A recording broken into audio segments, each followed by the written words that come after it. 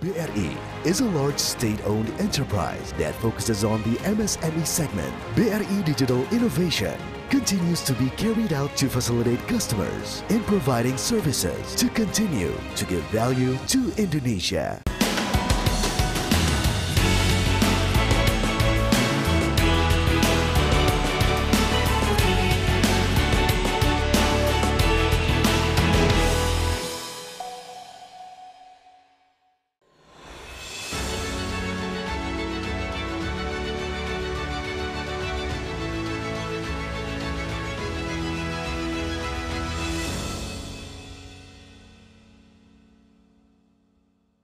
BNI harus semakin proaktif dan responsif. BNI terus konsisten untuk mendorong UMKM kita naik kelas. BNI berkomitmen dalam program-program pemberdayaan UMKM untuk go global.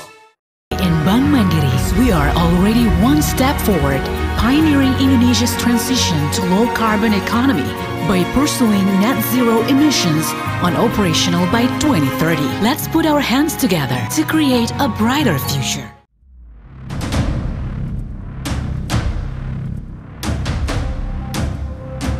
Mining Industry Indonesia, Mind ID, we explore natural resources for civilization, prosperity, and a brighter future.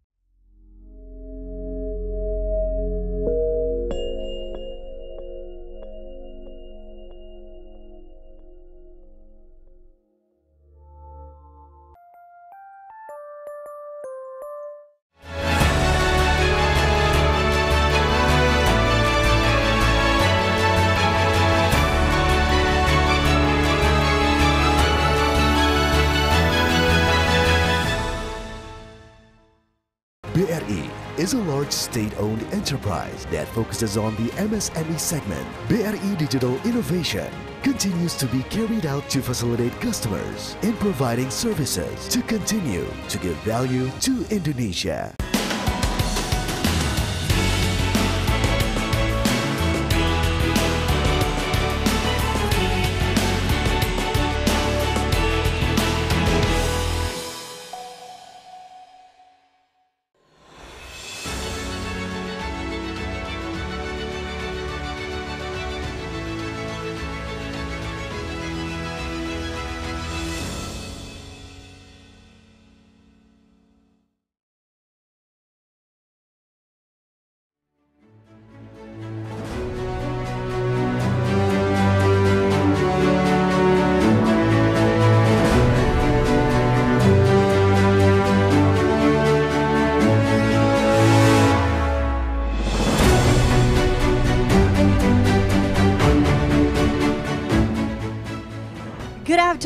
Excellencies, distinguished guests, ladies and gentlemen. A warm welcome back to all of you to the ASEAN Indo Pacific Forum 2023 implementation of ASEAN Outlook on the Indo Pacific. I hope all of you have enjoyed the previous sessions and also had the opportunity to engage in valuable conversations and also networking.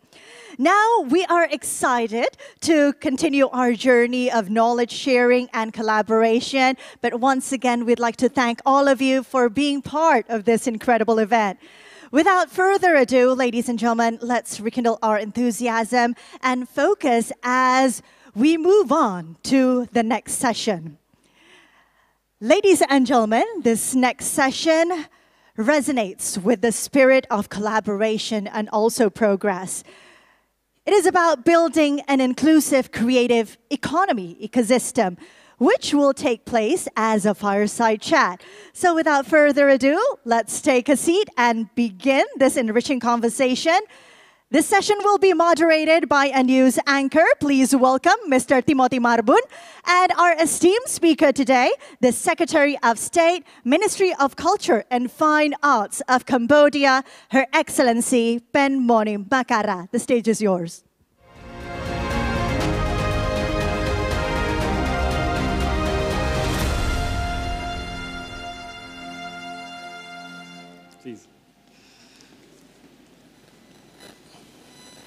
How are you, Madam Pen? Good afternoon, Timothy. Good afternoon to you too. Uh, ladies and gentlemen, a warm welcome to you all uh, for joining us. Thank you for joining us in our fireside chat. Our topic today is building an inclusive, creative uh, economy, creative economy ecosystem. And we are here to explore lessons that we can learn from Cambodia's remarkable journey in fostering a diverse, innovative, and sustainable creative economy, while also preserving its very rich cultural heritage. Now, today we have the honor of learning from Her Excellency Pen Moni Makara, a distinguished leader in diplomacy and cultural affairs. She is currently serving as the Secretary of State at the Ministry of Culture and Fine Arts of Cambodia.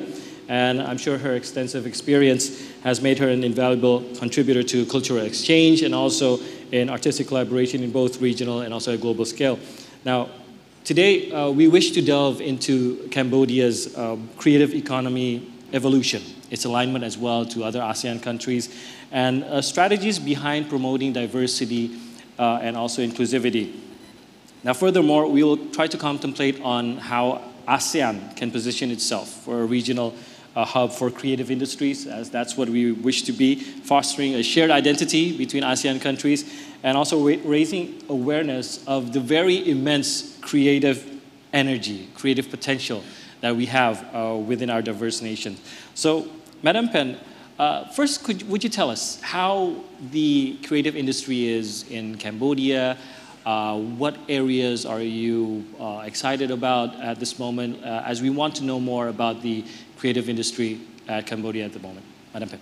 Yes, so thank you, um, Timothy. And uh, before I get into um, Cambodia itself, I would like to um, first like to thank Indonesia, the host, uh, for being for championing the creative economy um, and also uh, giving Cambodia an opportunity to give our perspective and insight. Even though we are, our creative economy is still at a developing stage right now, as if you we compare to say Thailand or the Philippines, the Philippines is a, a, also another ASEAN country that we look up to in, uh, in terms of the um, development of the creative economy. Um, and I really want to congratulate them on the um, just uh, recently, well, last year passing through the new law on a new act on the creative economy industry act and also managed to get um, the creative economy development council so uh, Indonesia, uh, Thailand, and the Philippines are countries that um, Cambodia, it, they are the creative economy leaders in ASEAN that Cambodia aspire to be. We also have a lot to learn uh, in that note, actually, but uh, I'm, I'm, sure we're eager to learn together. And uh, as I said, there's a similarity, uh, same spirit, and even we see very similar cultural heritages uh, between our countries. Now, uh, I'd like to know in Cambodia, when we talk about creative industry, what would come up to mind in first? What would be the most advanced at the moment? Okay, so uh, Cambodia uh, being relatively small, we have a population of around just over 16 million. Mm. And given that we have these um, long spanning histories we, and we have a rich culture in terms of, we even have, we are the land of the thousands temples mm-hmm. and uh, and um, the home of the um, uh, World Heritage Site Angkor, where yeah. the biggest um, religious monuments um, in the world. Um, therefore, our creative um, economy is actually very much culture based. Mm. It's very much culture based. Uh, our tourism sector, it, which is uh, in some way related to the creative economy, is also about 80 to 90 percent culture based. Mm. Yes. So that is the main feature. Uh, similar to a lot of ASEAN countries as well. How do you utilize the creative youth, the energy uh, of creativity in Cambodia? As, as we know, there's always a link between creative industry and the tourism aspect there. How do you utilize that? How do, what is Cambodia doing at the moment? So, uh, like I mentioned earlier, for, for tourism, it's culture based. So we have many, many um, religious structure yeah. and, um, and monuments um, and also incredibly old um, and historic building uh, around the country. And within those, um, within uh, the area where those religious or monuments, uh, those uh, tourism attraction um, centers, we have the ecosystem of the community. The community, the local community living um, um, there, they have their own um, com- traditional knowledge, traditional um, and community knowledge, and where they, they, they have their own um, craft, arts and craft and design, and um, whether it's in terms of uh, clothing, fashions, or you know souvenirs and things like that. So uh, this is where the, our creative, the main uh, um, sector of our creative um, economy. I'm guessing if, if it's anything like, um, I'll say Indonesia, uh, of course I'm most familiar with the Indonesian situation, but just as an example, it's there. You know, the creativity is there, the energy is there, the ability is there.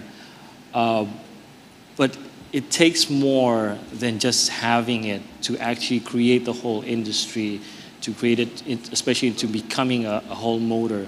Correct me if I'm wrong. You, we've talked before this. Uh, you've mentioned that Cam- Cambodia's youth, the under, the below 30 population is more than 80%. 80%. More than 80%. more than 80% is below 30. below 30 years old. So, So- we have we've, we have three things. Cambodia has three things that we have a lot of. Uh, we have fertile soil. We have young population, and um, another thing is our cultural asset. Yes. So- What, what, need, what, what, what do you need now to make the creative industry really move and advance? So uh, the first thing we need uh, a more organized plan.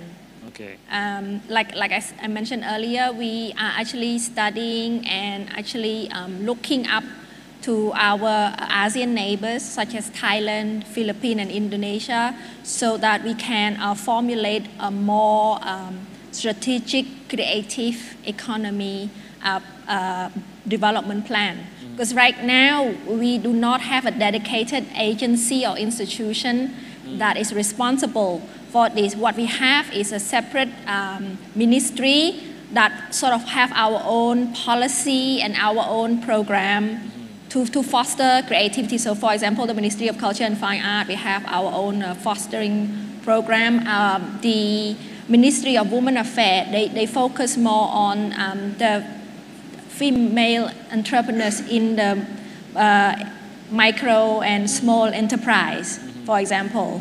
Um, but now, right now, we are in a phase of um, we in a phase of data collection and also analyzing. So we are finishing off our cultural mapping. Of course, it's not you can you can never finish our cultural mapping, but we are updating. Uh, we are updating uh, the cultural mapping of our communities, and and from that we are going to make a proposal to our, our the leaders, our new government, which was just is just formed a few weeks ago. So Cambodia has a new government, new prime minister, and he's very excited and uh, very much in uh, pushing for diversification of our economy. Yeah. So a lot of hopes for the new government to put more attention on the creative uh, economy in Cambodia as well. Now, uh, any rooms for collaboration with ASEAN or Indo-Pacific countries? Wh- What, what area, what key areas would you say is ready for collaboration in Cambodia? Um, you know, Cambodia is always very open to uh, collaboration in a, any sector. Um, especially within this new mandate, uh, we are very much um, open for any proposal uh, from private or state um, uh, within the creative economy. For I will give specific example for, for us in the Ministry of Culture and Fine Art, whether it's film, whether it's content building, capacity building. We have ambitious plan uh, on um, building, uh, developing uh, our uh, creative uh, school. So we have secondary school and uh, University of Fine Art under our ministry responsibility, but um, we have not focused on the the digital side, not much, but we are we are creating this plan and we are looking for partners. We also um, wanting to um, grow our film industry. So it starts from um, cooperation and capacity building. Mhm. That, that is, is, is also seek for cooperation. investments. Investment, yes. Mhm. Um, in any sector. Um, I know that because we have um, the ASEAN Summit, Leader Summit um, on just uh, this morning. And I'm sure our new Prime Minister, he mentioned that Cambodia was very much open to investment and we'll try uh, our absolute best to make environment um, viable for investment. Yes. Now, uh, I just want to touch uh, a little upon technology. So, how have the creative industry in Cambodia utilized the technology?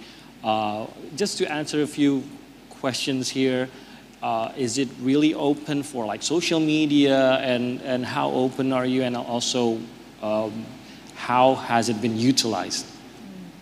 So yes, because of our young population, we are very much open to social media. Mm. So right now we have all the uh, Facebook, Instagram, TikTok, Twitter, whatever you they can Do get. you have a TikTok? We, I, I don't. You don't have. Okay, I'm ju- I'm just checking. Maybe I'm not young enough. I, I, I pretend I, I try to look young, but I am not young enough. Uh, Actually, I do have access to TikTok, Okay. but yes, I do have Same with me then. Only have access. I Yes. don't know what to fill in. but it's incredibly um, It's growing there. it's the fastest growing uh, app um, because of our young population Okay, and, and they're very eager to create through those platforms? oh yes there's all sorts of content there's all sorts of content um, up there uh, in, in, in tiktok and especially for, for younger people and we have content from cambodians from around the world as well Mm. So um, it's very, it's, it really, uh, all this social media, it makes the world smaller. Yeah. But it's also an incredibly effective way of um, uh, giving off um, high volume communication. You know, when you, yeah. Have you, uh, has it been utilized to promote what Cam- Cambodia can offer in the creative aspect or creative economy aspect? Um, the tourism industry has been, um, you know, after COVID, you know, what happened during the pandemic, most uh, how our tourism industry, which is one of the main um, economic contributor uh, in Cambodia, our tour- tourism industry, uh, how much it declined during COVID. And um, I think the Ministry of Tourism has uh, uh, utilized uh, social media as a, as a way to promote uh, tourism in the country, which is very effective, especially it, they managed to drive up the um, not just international but um, national tourism as well within the country, Mm. make people want to go out. Okay. And yeah. So my, uh, my final question will be touching upon inclusivity. Uh, as we know that, that the, the creative sector, uh, it, it will, it will grow. We have the tools, the technology, as you said, it's also been utilized. But how, what, what is Cambodia doing to keep it inclusive for everyone? How do you keep it uh, more and more sustainable, uh, especially in Cambodia as, as the industry grows? how do we make it more inclusive for everyone? So, um, we like like I've mentioned, because we have many ministry involved. So, um, for example, um, for us, we we a lot of focus is on not just on the youth, but on the um, local community Yeah. as well. So, um, we have a program called the the Living Legend um, in the uh, traditional community. So, so we, we, we go and explore different local community, and then we we've actually um, given um, a special um, decoration for any um, com- um, elders in the community or people in the community who are who are specialized in their art. For example, and that is um, Ministry of, of uh, Culture. So Ministry of Women Affairs they focus on fostering um, women enterprises. So and the Ministry of um, Education focus a lot on the youth um, sector. So and and we are very much uh, we have a special uh, program that involve um, artists with disability, for example. So we have that, and also we have a special um, policy on we call the what we call the indigenous um, um, support system. So to all the um, ethnic minority or indigenous um, in within the country as well. So th- there's also capacity building for them, For them. getting them involved as well. Yes, getting in touch uh, with their um, with their tradition, make sure that their tradition don't die out. For example, they for the indigenous minority. Um, yes, and I have one exciting uh, new um, program that I would like to share with you. Just quickly share with you, and that is to do with um, what we call the ancestral uh, skill training uh, program, which is part of the youth training program. Um, the new government has uh, uh, put uh, uh, within the new mandate we have a, capacity building program for 1.5 million youth. Okay. Yes, very From, from the new government. It's- from the new government. So within uh, this, this, this program is uh, currently uh, will be rolling out shortly. Okay. And, um, and for the creative sector, for the cultural and creative sector, we get uh, 2 to 4 percent of this 1.5 million, making it um, 30,000 uh, to 60,000 um, youth. Okay. Yes. So we'll be training a specific um, traditional skill that can be used uh, to earn live a living. I see. Yes. Okay. So it's not just traditional skill for you to be aware of. No, it's a skill that you can use to earn a living. Okay, so, th- so that hopefully will also grow, the, let, let the industry grow, as well as capacity building and collaboration. I think that's areas for collaboration as well. Yes. Now, uh, our time is up, but I thank you very much. Let's give a round of applause to uh, Madam Pen, Madam Pen Moni Makara, the Secretary of State, Ministry of Cultural and Fine Arts of Cambodia. So, once again, you. thank you very much. Thank you, too. Thank you very much, Your Excellency, and also to our moderator for that very lively fireside chat. Once again, why don't we give another round of applause, ladies and gentlemen? Thank you very much. And so, Excellencies, distinguished guests, ladies and gentlemen, as we continue our exploration of the ASEAN Indo Pacific Forum 2023, please allow me to welcome to the stage the Regional Director of Korea Creative Content Agency, KOCCA. For his brief presentation, please welcome Mr. Kim Young-soo.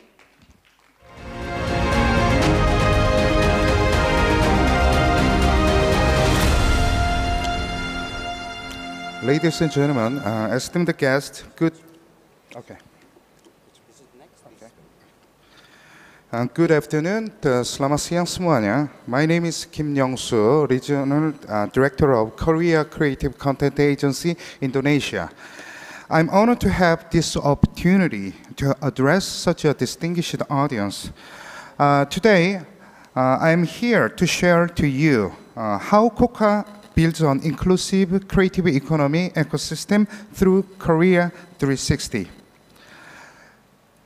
Established in May 2009, KOCCA is a government organization to promote cultural content and uh, creative industry under the Ministry of Culture, Sports and Tourism of the Republic of Korea.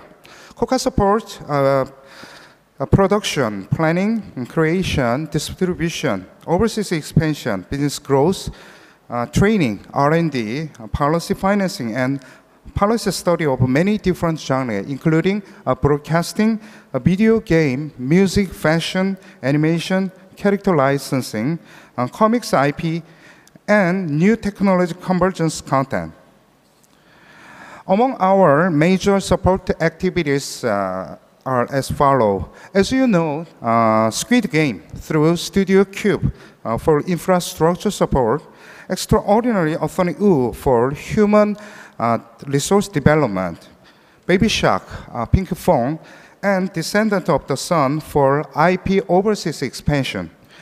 Through the support and business promotion program from KOCCA, Korea's content market sales reached 144.4 trillion Korean won, exposure of 13.5 uh, US dollar, and employment of uh, 607,000 people, which becomes the seventh largest market in the world. The Korean government recognized that the core of the creative economy is the overseas expansion of related industry. In particular, the content industry, which is regarded as a high value adding industry, is being fostered as a base industry for the creative economy. And the global expansion of related industries through the Korean wave is of our uh, vital importance. The Korean wave, or Hallyu, uh, began in 1997. At the time, only Chinese and Japanese uh, consumer, okay, sorry. At the time, only Chinese and Japanese consumer uh, preferred the Korean drama, K-pop, and games. But now, Korean wave also uh, gains popularity in ASEAN countries. This is also evident in uh, statistical figures. Compared to 2019, exports increased by 25.6% in uh, 2020 during COVID period and are expected to increase by double digit in 2021. In Indonesia, uh, Hallyu is becoming a daily culture based on K-contents consumption by country. Indonesia has the highest intention to purchase Korean uh, products and services such as K-pop and uh, dramas, uh, followed by uh, Vietnam, India, UAE, and China. Therefore, in December 2022, uh, KOCCA established the Korea 360, a comprehensive uh, exhibition center for Hallyu, which is located inside Lotte Mall, Jakarta jointly with the four ministries, including the Ministry of Culture, Sports and Tourism. Korea 360, as a base for spreading Hallyu in ASEAN, is located to uh, strengthen the Korean brand, uh, provide opportunities to experience new Hallyu culture, secure a Hallyu fandom targeting the new generation, and revitalize the creative economy by leaping into a country with attractive Hallyu culture. In Korea 360, you may find a handprint of Korean Celebrate, collect on a permanent exhibition where you can experience Korean content, lifestyle, uh, food, culture and tourism, and uh, various other Korean content related events. The number of our visitors are increasing steadily as we have carried out a 60 promotional event collaborating with 1,932 Korean brands and 4,292 uh, products. Revitalizing the national economy through creative industry is a common goal and concern of Korea and all ASEAN member countries. However, a common approach to these goals and concern may not fit, uh, since there are some difference of economic, uh, political, and cultural background of each country. Uh, today, I share the methodology for revitalizing the creative economy based on uh, content consumption and added value uh, through our Korea 360. We believe that experience the content will lead to actual product consumption as source of a sustainable creative economy. So enhancing IP development, uh, elevating creative economy ecosystem. Thank you very much for your attention.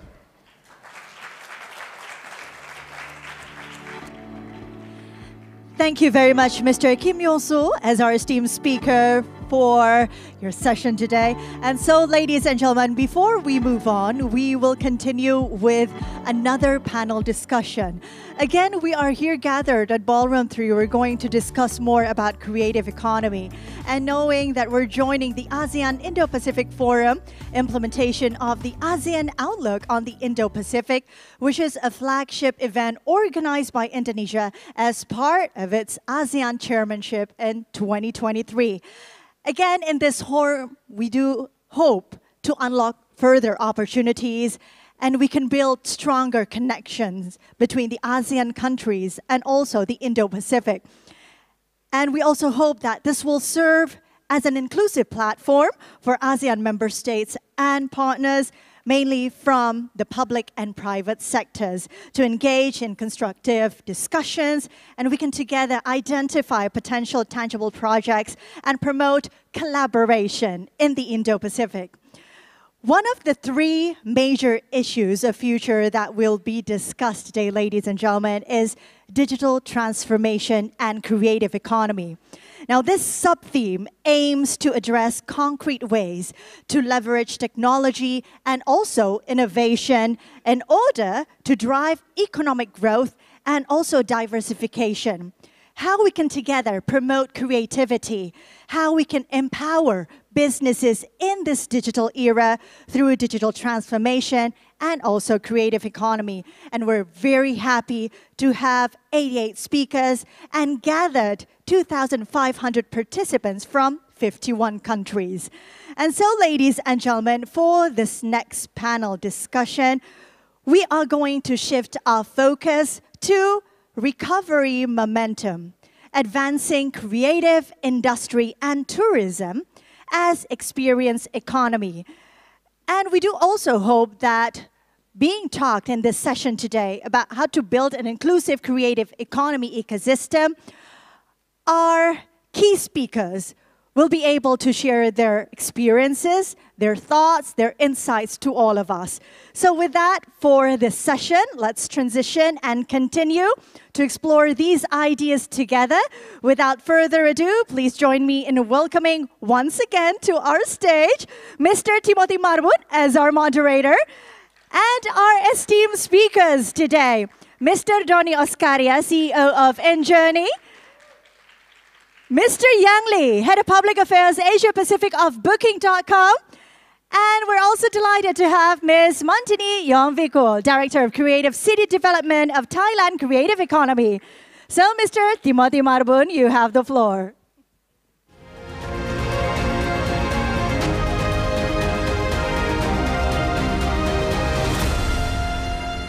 Good day, everyone. I believe I just said that 20 minutes ago as well. so thank you for staying with us in Ballroom 3. A very exciting topic uh, we have here today. Uh, once again, welcome to all the speakers. Uh, welcome to Indonesia, if anyone has only been for the first time here. Um, we are talking about recovery momentum, advancing the creative industry and tourism as experience economy. Now, ladies and gentlemen, I'm not going to lie to you. As you sit here in the beautiful Hotel Mulia uh, in Jakarta, your host, which in this situation is Indonesia, secretly hopes that you've seen enough, experienced enough for you to come back, probably bring your family, you know, and have a vacation. Hopefully you enjoy enough Jakarta or even Indonesia. And this is what happens every time we have events like this in ASEAN countries. Any ASEAN countries, say Laos, Thailand, or any ASEAN countries, we try to use this momentum to showcase the best that we have in arts, culture, uh, people, services, and also even uh, nature when we can. Now, our region, the ASEAN region and the Indo-Pacific as well, is, is, is a very rich uh, heritage culture. It's so rich culture, so diverse. But at the same time, we see in ASEAN countries, if you look closer, we have lingering similarities, you know, in our folklores, in our heritage, and in the shapes of our temples as well. So it shows that from a very long time ago, we've been working together. We have a Thai as well here uh, in, in the region. And creative economy has been uh, the very foremost and been very successful in showcasing the very rich socio-cultural heritage that ASEAN has. With the help of technology, it has never been easier for us to showcase this. It has never been easier for us as well to book your flight to the next Southeast Asian destination that you've probably had bookmarked in your Instagram for the last year, or maybe even more than that. I know I have a lot of booked, bookmarked areas that I haven't been going since COVID. So uh, Southeast Asia is one. Now we'll be talking about uh, the creative economy and also its uh, support in tourism. But there's also an aspect where as we see a growth here, there's all, there are also challenges that also come up. Uh, maintaining fair prices is one as well, you know, and also ensuring um, inclusivity and sustainability as the numbers grow, sustainability is getting harder and harder to uh, reach as well. We should not leave this in the back burner. It should also be one of our focuses as well as we grow together. Now, uh, I'm sure we will have great insights from our speakers today. Uh, please allow me to just give a short introduction to our speakers. Um, first speaker, uh, he was previously the Vice President Director and Commissioner of Indonesia's flagship air carrier Garuda, uh, a familiar face in tourism and also aviation industry. Uh, he now leads InJourney. InJourney is a state-owned holding company consisting of airport, cargo services, tourist attractions, hotels, product retail management, creative industry as well. And also, InJourney is dubbed to be the future of tourism in Indonesia. Welcome, uh, the CEO of InJourney, Mr. Dony Oskaria. Let's give a round of applause. Thank Dony. Our next speaker has held senior roles in public affairs and public policy in Foodpanda, also in Jewel Labs and advisory firms such as APCO Worldwide and also Asia Group Advisors. Uh, he is very passionate about ensuring businesses that grow in sustainable and ethical manner uh, while also building trust win-win relationships with key stakeholders. He is the head of public affairs for Asia Pacific at Booking.com, Mr. Yang Li. Please give a round of applause to Mr. Yang Li. And our next speaker has a proven track record in orchestrating successful Design Week events in Thailand to celebrate innovation and design. She also initiated district developments, uh, fostering collaborations within the Thai Creative District Network, and established strategic partnership with UNESCO. And she is now the director of Creative City Development of Thailand Creative Economy. Please welcome Ms. Montinee Yongkivo. So I've said enough. Uh, I only have questions next. so uh, my first question is for everyone here, but I, will just start off with Pak Dony and go uh, further on later on. So uh, what we want to talk about first is the change that you've seen, uh, especially if we compare it to pre-COVID and, and post-COVID. So uh, what is the most profound impact and changes that you see uh, in the creative economy and tourism sectors that fundamentally is altering the way that we consume the industry? Uh, and, and the whole landscape? What biggest, what is impacted the biggest and what change do you see? So I'll start with you, Madoni. Thank you, Timothy. Uh, before I explain about the change on the tourism mm. and creative economy, I would like to express the, you know, the, the change in how Indonesia changed the strategy in tourism and creative economy. Before, mm in the, in the past five years, in the last five years, the government changed the way we're approaching this industry. Before, we were more focusing on marketing, mm. but in the last five years, we realized that this industry basically is based on the destination. Yeah. So we changed the whole we, we you know, we, we manage this industry. Now, since uh, we understand that the last five years, the government already introduced the five super priority destination yeah. for Indonesia. And, and, then, and just two years after we introduced the five super priority destination, the COVID happened. happened. Yeah. Yeah. And then during the COVID, we using this time to establish new company that called InJourney. InJourney is actually the holding uh, uh, the holding company for the aviation and, and tourism. Mm.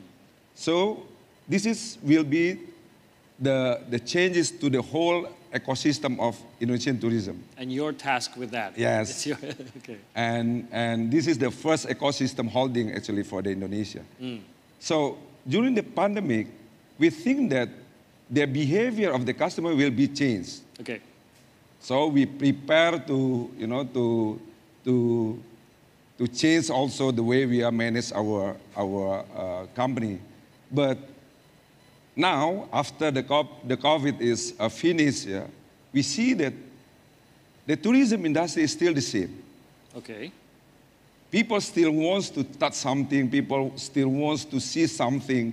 Mm. Before we think that the behavior of the customer will be changed now more on virtual and more on the online. But in fact, like in Indonesia, basically we have two inbound airports since we, we also yeah. manage the airports here.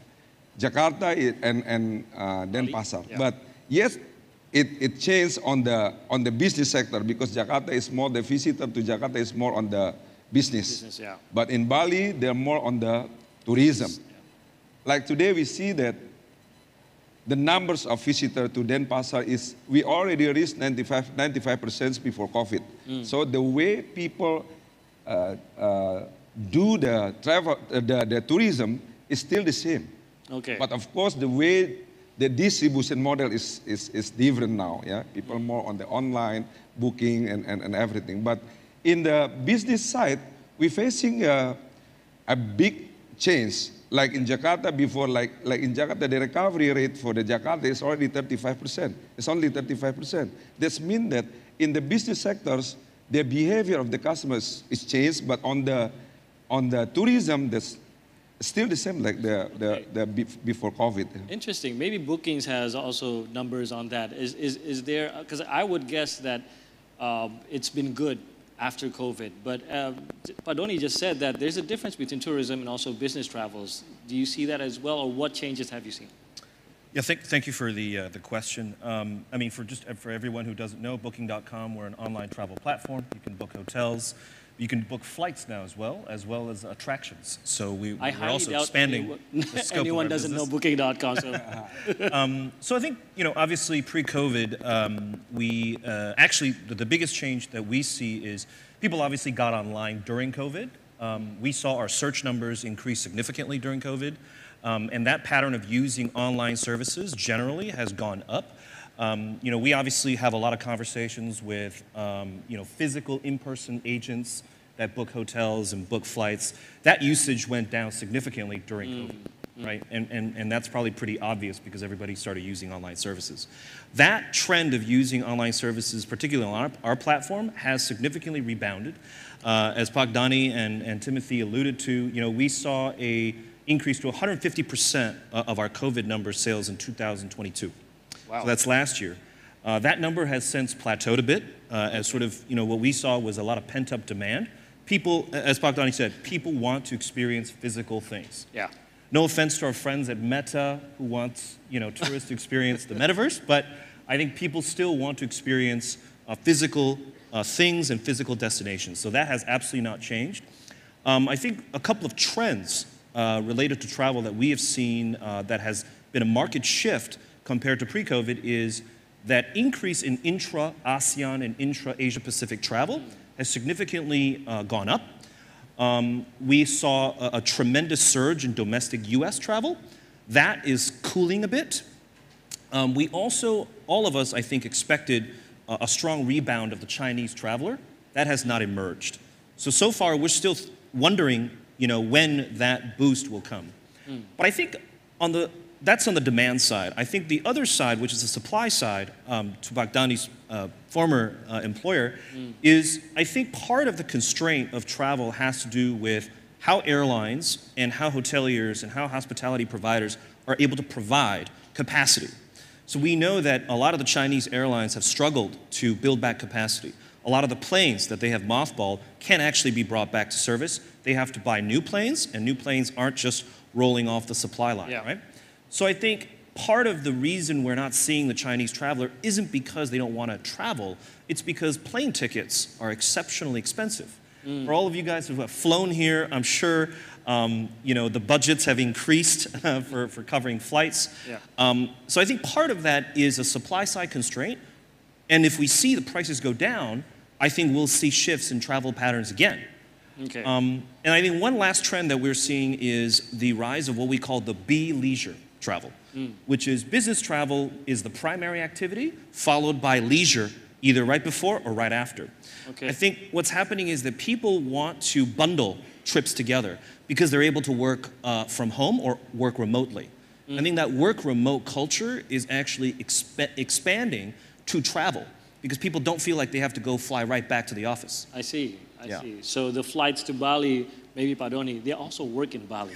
but, but instead of just stopping in Jakarta, let's just go to Bali, work from there. I guess maybe maybe that answers a little bit uh, of that aspect. So Ms. Montinee, uh, from the creative economy sector in Thailand, what do you see? What changes do you see? So, do you hear me? So, um, my job is like I come from the different angle from these two gentlemen, but I have to work with them because uh, I work for like to support the creator. The creative industry in Thailand. And after the COVID, we saw that uh, the people access to internet more and more. Mhm. And then uh, the online content is a big trigger for uh, tourism industry. That's why we try to promote the content industry like film, music, and uh, series in Thailand to trigger the young generation to come to uh, travel and also like to create more value uh, in terms of business.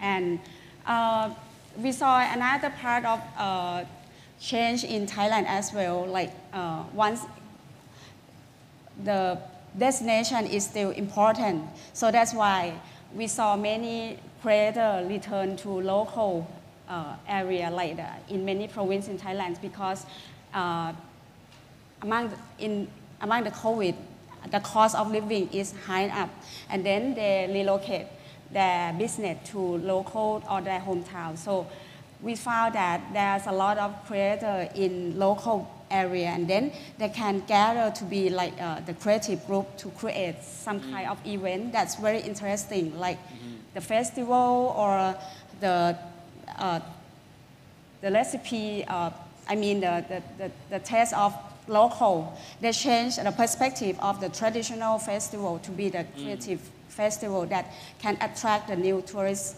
uh, especially the young generation. So this is uh, the things that we saw and then we try to support them to happen more and more. Oh, so that, that happens locally in the communities? Yes, Oh, beginning from them? right, right, right. Okay. So is, is there, is, um, has there been challenges in, in you know, uh, building the industry? Uh, and how has it been post-COVID? After COVID, would you say that you're twice stronger or has it been challenging to get, get back to the situation before COVID?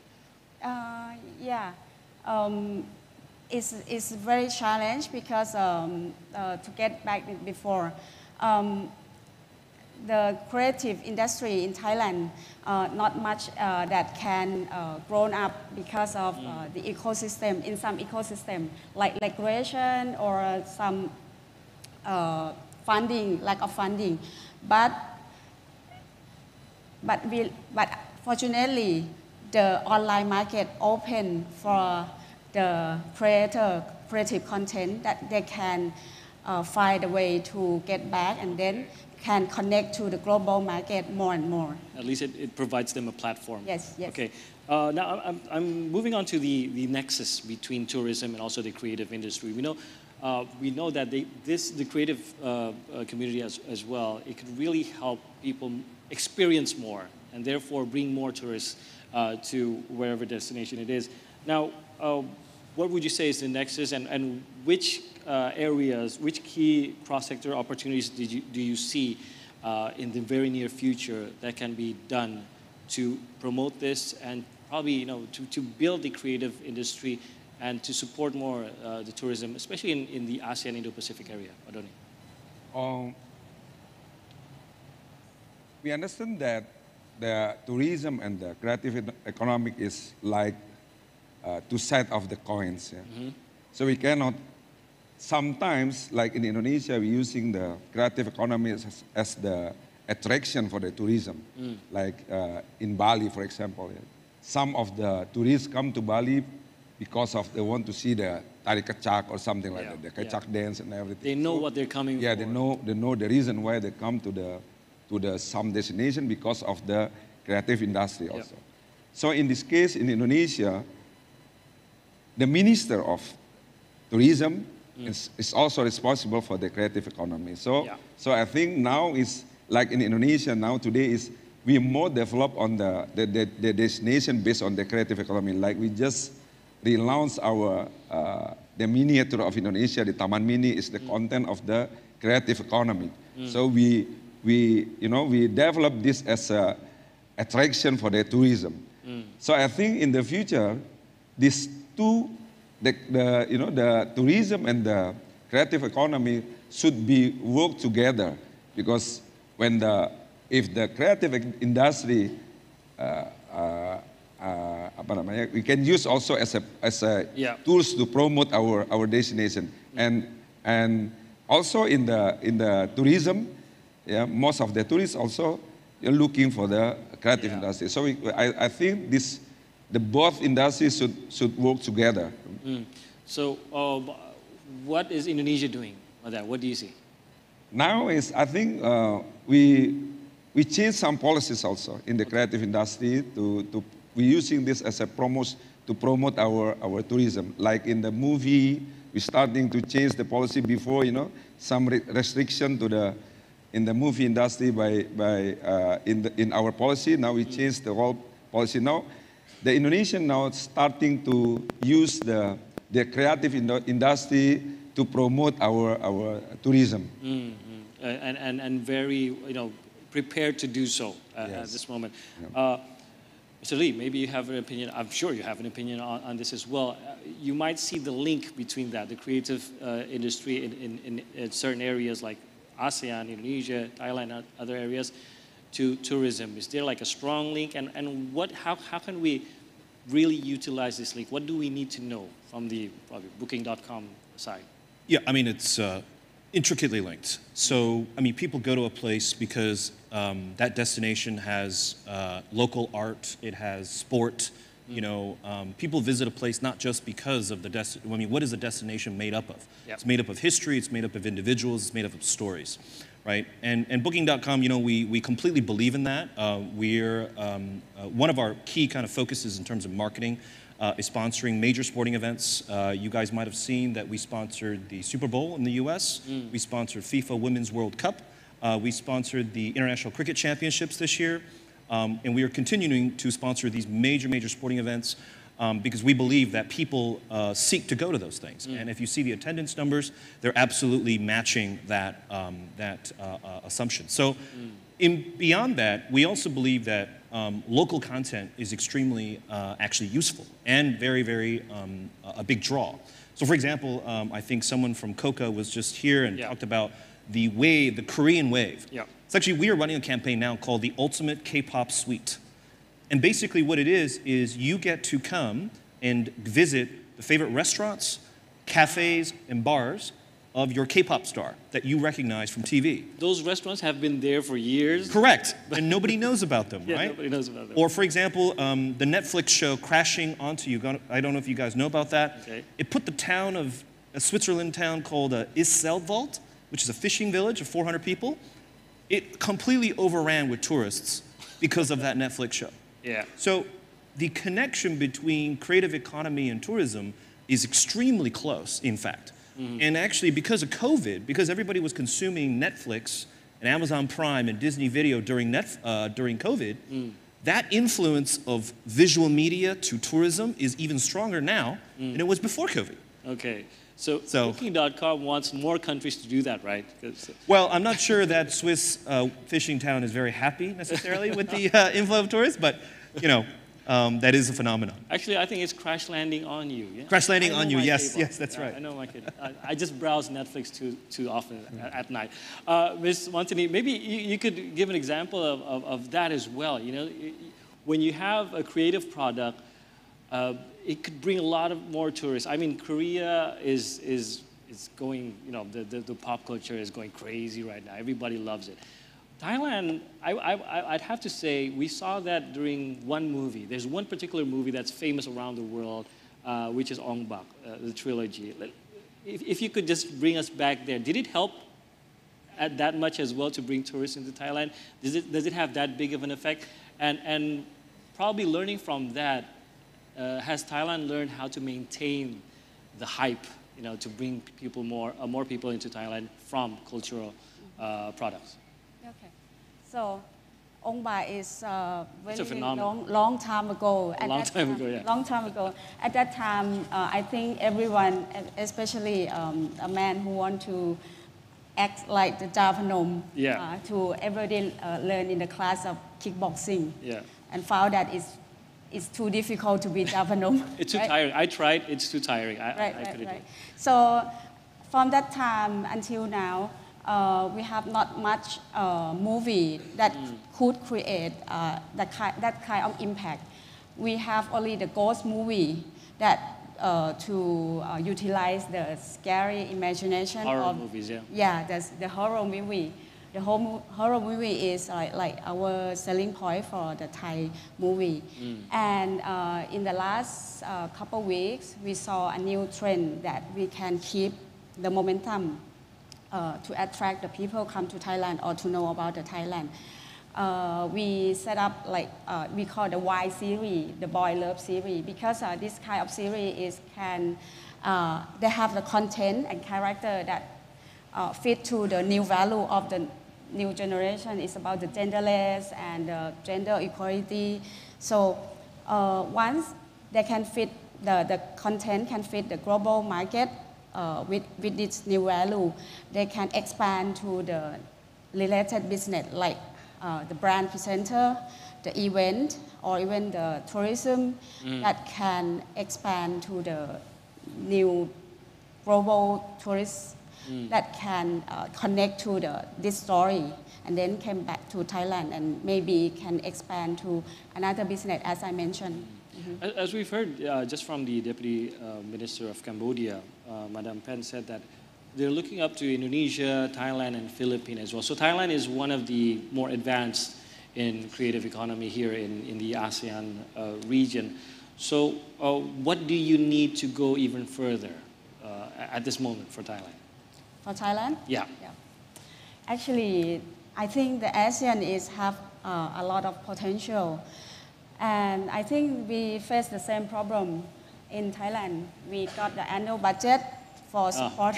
Budget is always a problem. Yeah, yeah. to to see the the presentation from KOCCA, we said, oh wow.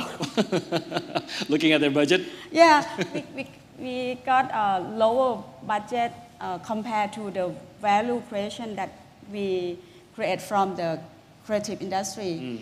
And that is, uh, I think we face the same problem. And the second one is like we have many creative, but how to connect the creative people to the business model is quite difficult because we, we didn't want them to be the, like the businessman, but how to utilize that creativity to be the new business model. Because one, you want to expand your creative industry, you have Okay. to understand more and more about the uh, business and also some networking, some partnerships. Some, so uh, we try to uh, launch the, the, this kind of program to uplift the skill. Okay. Yeah. Same question to Pak Dony. If we want to advance our creative sector to, you know, uh, contribute more to tourism, what does Indonesia need right now? Actually, now Indonesia is more focusing on the destination development. Okay. We are in the good timing, in the good time, since the collaboration between uh, the Minister of Public Works and Housing, the Mm. Ministry of uh, Tourism and Creative Economics, and also with the engineer, eh, we are now trying to develop many destinations. In Bali, now we're developing the uh, uh, medical uh, and wellness destination. Mm. We have collaboration with the Mayo Clinic and 20 aesthetic clinic from Korea. Oh. Yes, and also we, uh, we, we collaborate with the fertility clinics from uh, Malaysia, Mm. wellness from Thailand also. So this is one of the big projects for Indonesia to bring the to the next level of our tourism. It's Mm. not only the culture and uh, uh, nature, but we also now Health improve our uh, quality of destination since we also learn from the from the Thailand. Mm. Where we understand that numbers of visitors to Thailand and, and, and to Indonesia is the, the difference is very high. Mm. Currently, I think the Thailand is in a year the number of visitors reach 40 million. In Indonesia, it's only like 70, 17 million. 17. So yeah. So uh, we learn from them also, like in how Thailand developed their destination. In Bangkok itself, for example, they have 60 golf course. Compared to Bali, we only have three golf course. Mm. Now we're starting to develop our destination. In, in Bali, we developed the, the medical and wellness complex. We bring the international brand just to, to, to add some more destination in Bali. More reasons to come. yes. There's, there's, there's uh, for example, the second one, like in how we now change our Borobudur temple to become the Buddhist temple, since we understand that the market for Buddhists in Southeast Asia is very big. Now we change before that Borobudur temple is only, we are not using that as a Buddhist temple, but now we open that. We just did the Waisak in, in Borobudur. We bring, we collaboration also with the Thailand, and we bring the monk from Thailand to, to uh, Jogja, to Borobudur. And now we are in the uh, discussion with the, with the travel agents, some, many travel agents from Thailand. We just did the, the fam trip to Jogja, and we also opened the connectivity between Bangkok and Jogja. And we understand next, at least we can bring at least yeah, 3 million, oh. yeah, 3 million visitors to Jogja. Since we understand that uh, Borobudur is one of the, you know, the, the, the best, the best for the, for the Buddhists yeah, to, to visit, to do some prayer and everything. so for religious meditation. travels. Yeah, yeah. Mm. That's, that's the only, uh, that's also uh, something that we developed. And the other side, we see that we are also developed the, the, you know, the Mandalika. Mandalika, if Mm-hmm. One good example also how the government now did the collaboration between uh, the, the Minister of Public Works and Housing developed the infrastructure from the airport to the, to the Mandalika uh, special economic zones. Not only the, the highway, but also the infrastructure surrounding the, the complex. And in, InJourney, developed the airport, the big airport, nice airport, and also we developed the hotel inside the complex. We just, uh, we develop also the circuit. We, we, we bring the MotoGP Yeah. inside to promote the Mandalika. So this is that the, the, the next level of how Indonesia manage the tourism sectors. So that, that's exactly it. When you build the Mandalika, you also bring the events. That, that's what you have to do and, and create the whole ecosystem uh, there to make you know even even those who've never been there uh, comfortable to go there. So that, that's interesting from Indonesia. Now, uh, I guess we only have time to touch upon sustainability and inclusivity. So I, I'll go to Mr. Li about this.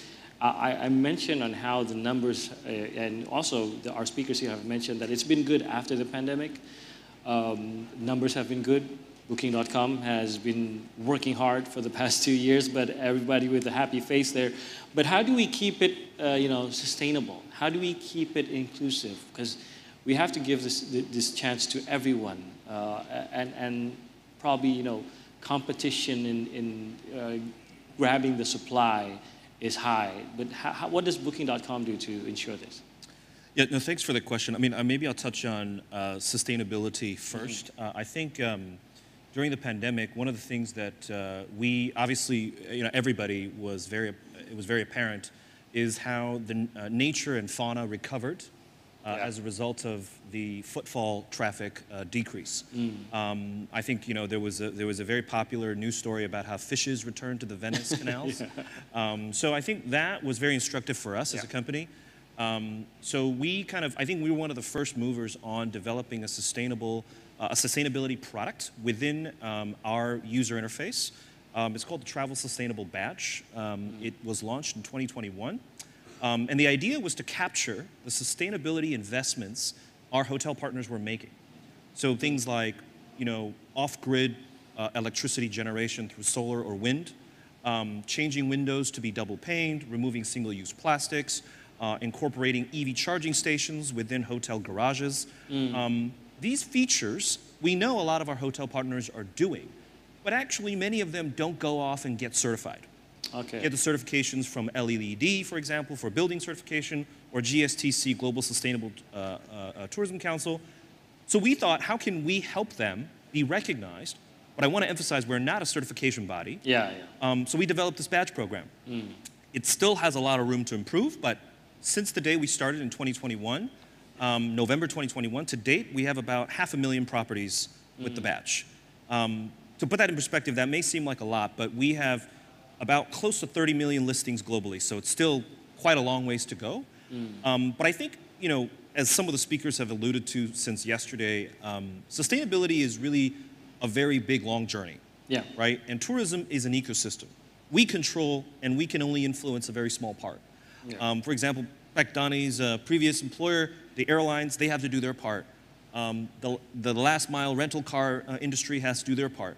But for us, what we try to do is tr- we try to nudge consumers and hotel partners to do better, Mm. and we offer incentives and information to help them make the best choice. Mhm. So that's you know what I'll say on sustainability. Um, in terms of inclusivity, I think um, that's a very interesting uh, question because, so I think for us, you know, we kind of position booking as a catch-all. We offer everything from hostels to five-star hotels, um, and we know not every provider actually aims to do that. Yeah. So we know, you know, there are providers who aim to be exclusive. So I'm sure many travelers, you know, they book their five-star hotels from Amex Travel, for example, um, and call the concierge. And then there are backpackers who only use Hostelworld, for example. mm, mm. So I think for us, the value we provide is we want to try to provide the most choice across the full spectrum of offerings. And I think that's what kind of what made us popular.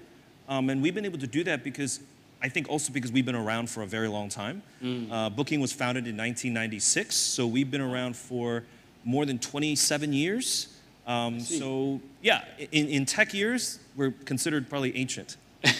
but it's nothing like 96 anymore in 2023, right? So there's, you, you've learned a lot uh, uh, along the way. Uh, and being from 96, you've gone through a lot of uh, very dangerous years there. So uh, interesting from Booking.com. Now, uh, Ms. Montinee, um, I'd like to ask also about sustainability and also inclusivity. Uh, we talked about the cultural heritage also that we have here in the ASEAN region. Uh, we talked about the creative industry that is, that is growing here in ASEAN, the platforms that is being used to grow that as well. But a- we, you know, in, in the process, things tend to get left behind if we, again, put them in the back burner. There are people who are unfamiliar with the technology. There are people who do not have the access. And then it, the technology or the projects become less inclusive for them. Now, how do you keep, in Thailand, how do you keep it inclusive? The creative economy, as it grows, how do you keep it inclusive for everyone in Thailand? So, uh, my, as I mentioned in the, in uh, earlier that there's a lot of people who are the creative from creative sector Yeah. return home, and uh, from my point of view, uh, my uh, agency try to keep this kind of people stay there because this kind of people who are from the creative sector, they know how to add value to the Yeah. heritage culture and they know how to uh, they have the mindset of the sustainability or like the inclusive people because once they return home uh, we found many evidence in province in thailand. They set up the studio for the children uh, mostly are the art uh, studio. Uh, the art is uh, like open for everyone in the community to join in and then in the meantime, they create the products that to create uh, the fair trade. Like uh, we have many design products to uh, give a fair trade to the community or, or to the river. So that's why, uh, in terms of policy, we try to keep these people to stay in the local communities Mm. because now they, they can do their job any, anywhere because the technology can help them to stay. And also the deli- deli- delivery system is also help them to stay in the local area. So Mm. to keep them there is uh, the best way to uh, keep uh, sustainable way and inclusive people. Mhm. Ke- uh, It keeps track and also it's uh, more reachable Right, that way when they're there. Interesting uh, as well. So probably just a closing statement from everyone. Uh, what collaborations do you wish to see if we're talking about trying to advance our creative economy in the region, in our countries, and also what do you see in the future for tourism when, it, when we're talking about building a more creative economy around the world? Uh, Pak Dony? Uh, I think I would like to use this opportunity to, you know, to, to uh, express my opinion about the, the region, the ASEAN region. This is actually the good opportunity for us to, you know, to, to bring the tourism. It's not only like Indonesia by Indonesia and Thailand by Thailand, but we need the collaboration between the ASEAN countries. Like in, in Sanur, we develop the medical tourism. We bring two good brands from the ASEAN countries, from the Malaysia and also from the Thailand. That's, I think that's also uh, opportunity for Indonesia brand to exist in the in all ASEAN countries. That's the first one. The second one is the connectivity between these countries. I think we need to improve how mm. how we we see this this region as a as a you know as a seamless connectivity. Yeah. Like like today we want to open the Yogyakarta to Bangkok, Yogyakarta to Cambodia, and and vice versa. Mm. I think this is the next level of the, the, the ASEAN countries. We should go together to, you know, to, to see the opportunity to increase our tourism industry and our creative industry. Then I think, I believe that in the future that, that, that would be happen if we, if, if we can work together to, you know, to bring this and, and, and also penetrate the same market together. Mm. This is like, like, you know, we are very close each other. When people comes to Kuala, to Kuala Lumpur, for example, it's easier for them to fly to, know, to Danau Toba. It's Yeah, very yeah, close. very close. Yeah, and, and, and also, uh, if, like, like, if people comes to Thailand, it's also, they, they can come to, to Bali, so we can create the package between Indonesia and, and Thailand and something, something like that. So, the next level, I think it's, it's good for the association, yeah? like, like the Association for Tourism in Indonesia and Thailand and all the ASEAN countries. We work together how to bring the, Indonesia, the ASEAN tourism and creative, and, and creative economic to the next level. That's, that's, that's from my point of view. Okay, collaboration, uh, you know, when the borders aren't there, it's so easy to interact, Yeah. so easy uh, to, to build something together. Interesting point, Pak Dony. Thank you.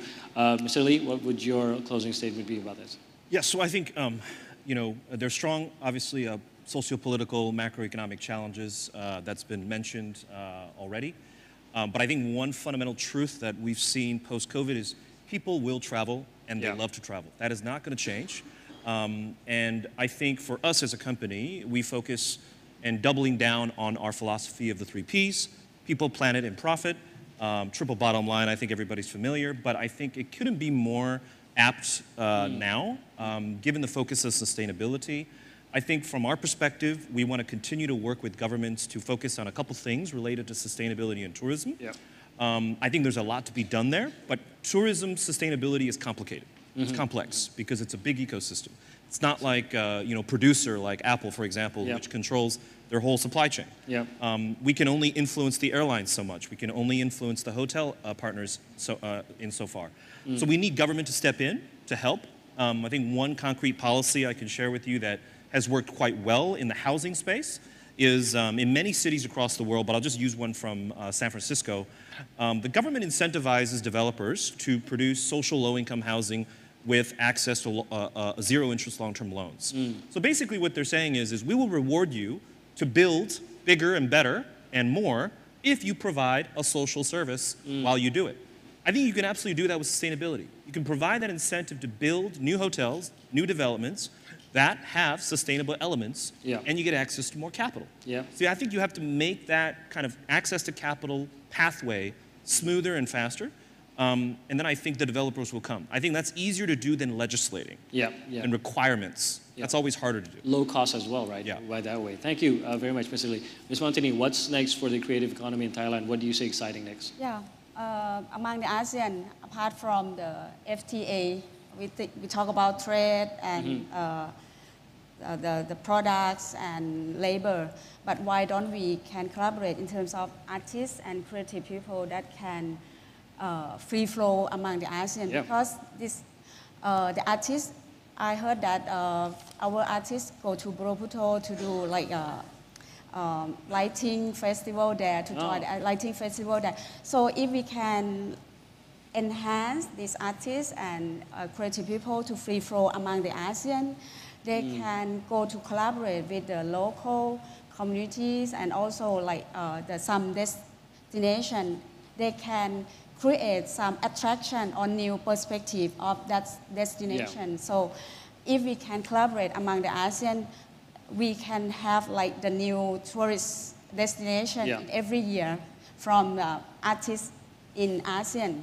So that's why I think it's, I, I don't know that we have a infrastructure to support them now or not, Mm. but I think it would be a positive way to do it, and I think it could be do it without like uh, we can just uh, adjust the regulation or something. It's not uh, to do to invest much in in, in this. Uh-huh. Uh, Interesting point as well, Ms. Montinee. I guess that also adds up to, to um, trying to just bring down the borders and anything that's, that's hindering us from working together, I guess. So, so artists moving from one country, from one ASEAN country to another, an ease of travel between these countries, Uh, an ease of actually, you know, uh, meeting a network uh, uh, base uh, between artists in, in this uh, region.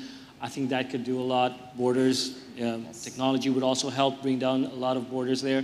But then again, travel, uh, we need easier ways to be traveling among ASEAN and Indo-Pacific countries. So there's a lot of room for regulation. There's a lot of room for collaboration as well here, uh, and, a lot of room for deregulation. I, I, I guess that's the word, not regulation, but deregulation. Uh, but there's a lot of aspects to that as well. But I see the energy there uh, in ASEAN, and, and I'm, I'm sure that with the youth of ASEAN, the big population of youth in, in ASEAN, they expect that as well. Now, creative economy, uh, I expect to see a lot more exciting stuff from ASEAN coming up in the following years. We've seen a lot of growth in creative economy from a lot of countries, Indonesia as well, uh, taking the world stage as well. So let's hope that that also attracts more and more people within the region, ASEAN and Indo-Pacific. Thank you so much for your insights, ladies and gentlemen. Please give a round of applause to Pak Dony, Mr. Li, and also Ms. Montinee. Thank you for your insights, and we'll hope to see you again, maybe in another city in ASEAN as well. Thank you so much. Thank you, everyone. Thank you, Dave. Thanks again. Thank you. Once again, we'd like to thank our moderator and also our esteemed speakers today for that. Once again, a very lively and insightful sessions. Ladies and gentlemen, after listening to the panelists today sharing their insights, their experiences, we will now continue with the next session. Now, before moving on to the next fireside chat, ladies and gentlemen, again at the ASEAN Indo Pacific Forum, implementation of ASEAN Outlook on the Indo Pacific. Ladies and gentlemen, today together at Ballroom 3, we are here gathered to discuss more about creative economy. But we do hope that all of you today, distinguished guests, ladies and gentlemen, have also had the chance to exchange ideas about the other two major topics or issues being discussed. As one of the first is green infrastructure and also resilient supply chains. Now, speaking about sustainability, ladies and gentlemen, that seems to be one of the words being spoken a lot about today. We hope and we are aiming to explore ways to foster green and sustainable infrastructure development and also ways to fortify supply chains against global disruptions. And also, another major issue being spoken and discussed here at the ASEAN Indo Pacific Forum again, sustainable and innovative financing where this sub-theme also aims to discuss efforts how to mobilize funds for green initiatives and accelerate sustainable development as well as connectivity in the Indo-Pacific region. And now, ladies and gentlemen, of course, we will continue. Let's transition to our next agenda for the day. We will have another fireside chat. And with that, get ready for another engaging session that promises to enlighten and inspire all of you today. So please join me in welcoming to the stage our moderator, the managing partner of Vietnam office, McKinsey, Mr. Bruce Delteil, and also our esteemed speaker, the CEO of FPT Smart Cloud, Mr. Le Hong Viet. A round of applause, ladies and gentlemen.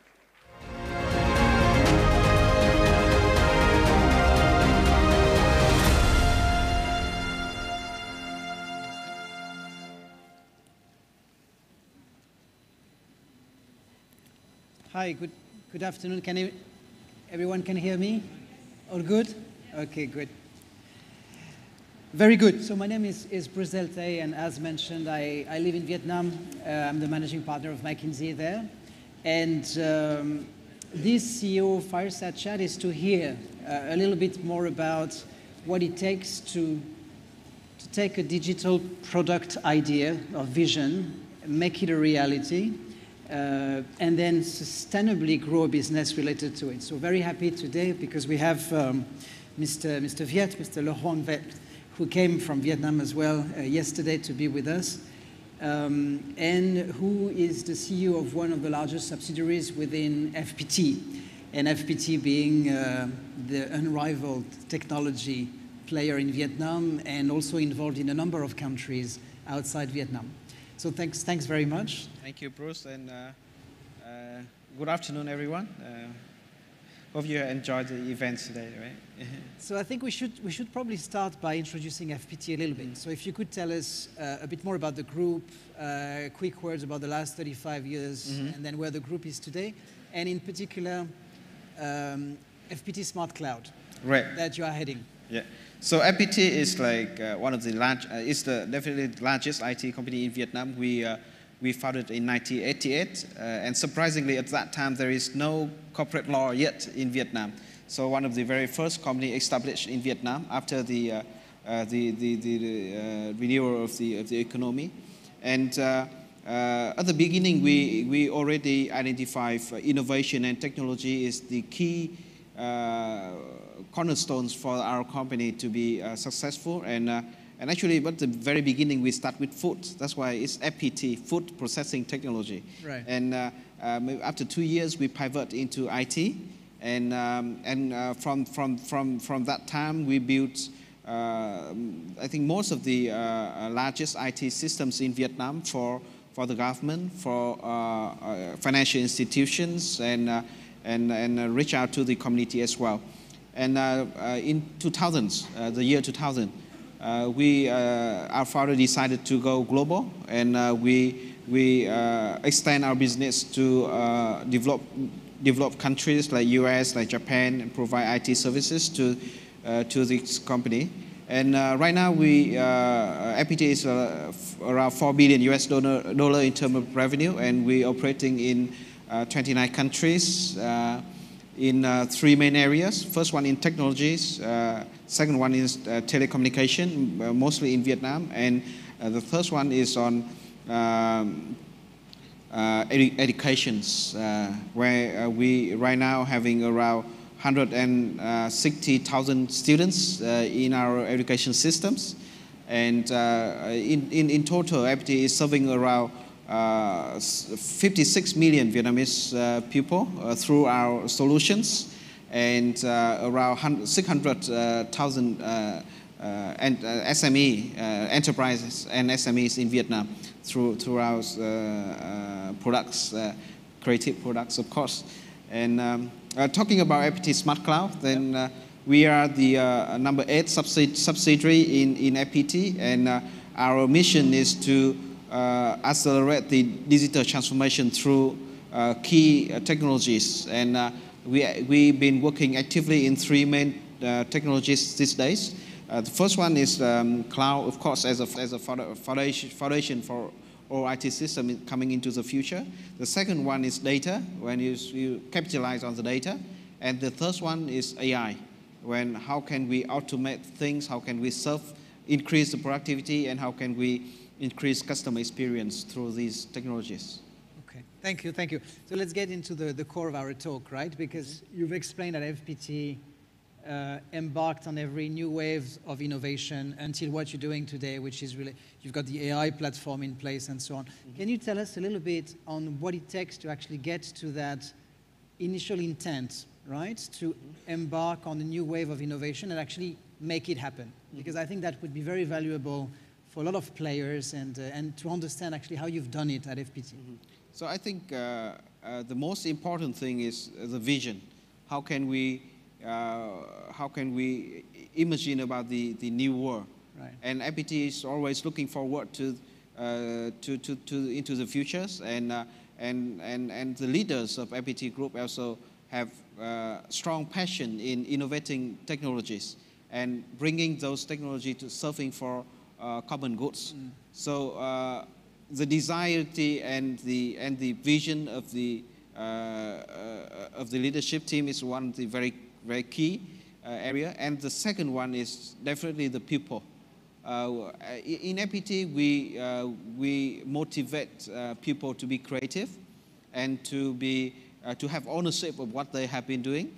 So, for example, our, our company is established when we uh, was a small uh, R&D team in, inside FPT Corporation, and we have freedom and we have people, creative people to, to, to, to, to, to conduct R&D and then and then uh, we can build a product. Uh, but that's the very initial phase. The, the, the, most important thing is how can we bring it into life? How can we find the right use cases for, for these products? Because the product is just a product. If you don't bring it into life, it will, it will die.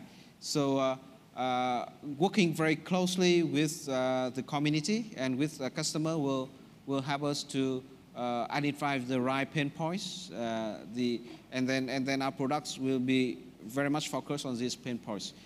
So uh, I can share your story. For example, we, we, we have a very interesting story right before COVID. Uh, we uh, incubated AI product to automatic engage, engagement with, to, with, with, with users.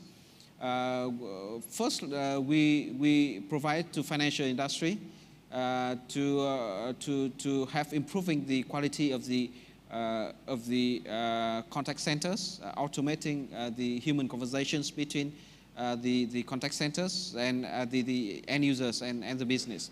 And then COVID happened, right? Uh, so we pivot uh, very quickly to bring it to the government. Uh, at that time, we, um, we have a lot of people having COVID in Vietnam, and have potentially having COVID in Vietnam. And then the government need to have a way to uh, control uh, precisely who are uh, infected and who are not.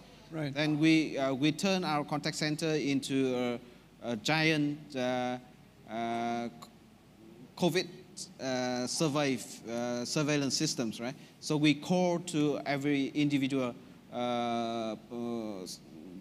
seasons and we ask about the symptoms and then we uh, uh, provide automatic advice for them how to, how to respond to these symptoms. And, um, and then we also having the uh, income inbound contact center for the government. Uh, when they need help, they call in. Before, before applying these technologies, then it's the it's like overflow of the contact center. No, nobody is pick up, picking up the calls. Right. But when we introduce the, uh, the, the new contact center in, uh, automatically um, the system pick up the call and then uh, qualify the all of the uh, the in, inbound calls and who really need help then we redirect it to the right people. So it's helped a lot for the uh, for the campaigns in Vietnam. Okay, so. As a quick summary from that genesis into, into a product, you, you mentioned three things, right? You mentioned uh, encouraging people to be creative, mm -hmm. right? Number two, I think there was the part related to um, meeting of minds, you know, and stakeholders right. talking to each other, and then eventually getting there and then improving along the way, right? Mm-hmm. Now, in a new phase of development, like, you know, everybody talks about Gen AI today, right? Where you have to make choices uh, between what use cases I'm going to go for, uh, what first step should I take moving forward. How do you go about filtering this? So, uh, uh I think uh, safety first, always safety first. So we, we, we need to identify the use cases that we can control the, the, the quality of the answers. For example, we go first with uh, uh, financial industry because everything is very clear mm. based on the numbers and, and, and, and of the policies that they already have. so, and then we go to um, uh, creative industry as well. Right. Uh, Gen, Gen, AI is very well uh, performing in uh, creativities, and it's no harm that you are you're creating something special. Uh, but uh, we are more skept, skeptical in in healthcare because it's, it can affect people severely if the answer is, is providing in in a in a not not a property proper way. So we, we, we qualify it based on the safety to the operation and to the people. And then uh, we uh, provide the measure to control the, the, the, the result as well. Right, okay. So uh, you, you touched a little bit before with the COVID example in the relationship and also the cooperation that FPT may have with uh, governments and um, uh, non-private entities, right? Uh, and digital inequality is probably one of the challenges that we're facing in ASEAN. Uh, and then obviously, as you said, innovation and uh, turning it into action works if the majority of people can actually benefit from it. So perhaps you can tell us a little bit on how you see your mission, right, as a, as a private technology company and how you interact with perhaps a non-profit or government to overcome that um, digital inequality challenge.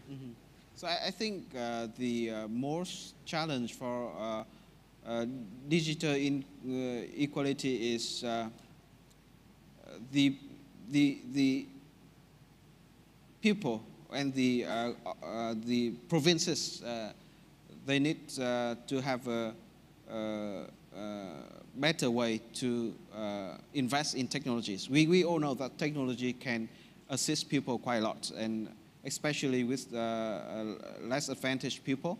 Uh, so uh, the, the way that FPT is approaching is uh, we work very closely with local government, the provinces, and uh, we uh, do have a program to co-invest uh, with, uh, with the local government. So FPT is investing first, and then we uh, work with the local, local government to bring that solution into life. And from, from our experience, it is always uh, more successful when you uh, have a collaboration with uh, the less, uh, uh, the, the, the, the provinces in the bottom of the list, because they uh, really have a great ambition to, to bring good life to the people living there, but they don't have the economic uh, uh, advantage to do that. Right. So uh, when technology is coming in, they, will, they find out that it's a new uh, tools for them to, to develop the, uh, the people there. So we bring in the uh, technologies, uh, and then uh, after that, we bring in the education system as well. So Yeah, I was about to get into that. Is that also through that channel that you you find talent, perhaps, or where the FPT University comes in, or you build capabilities on the ground as well, right? Right. Yeah. So, uh, because we, we right now have 160k uh, thousand uh, students in our, our list, so we spread out in the country, and everywhere we go in in Vietnam, we go in between both education and software park together.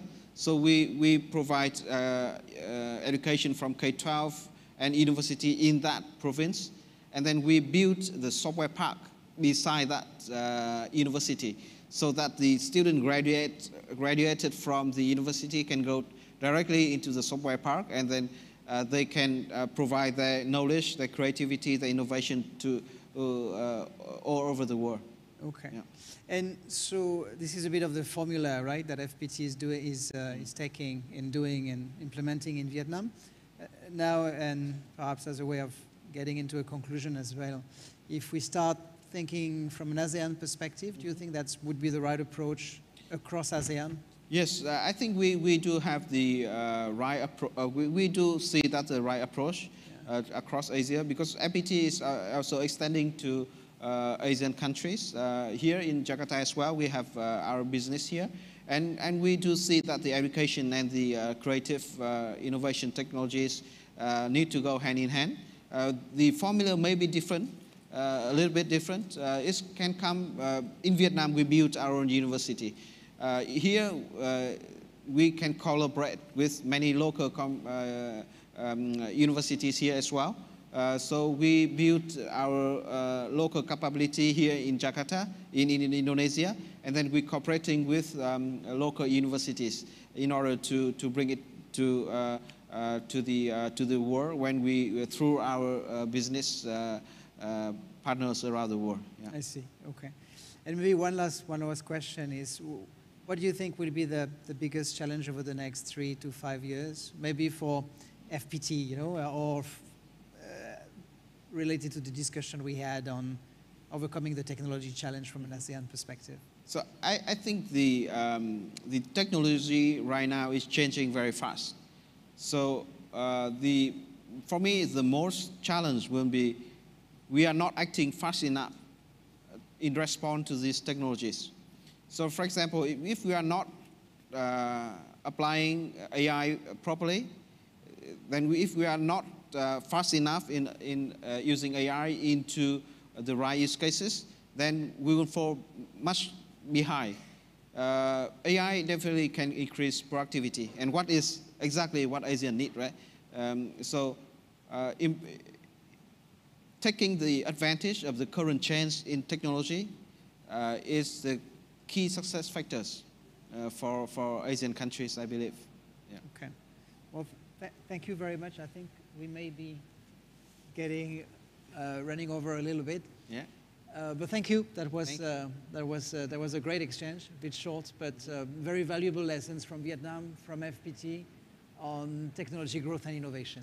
Thank you, thank Bruce. You. And, thank you so thank much. You, everybody. Yeah.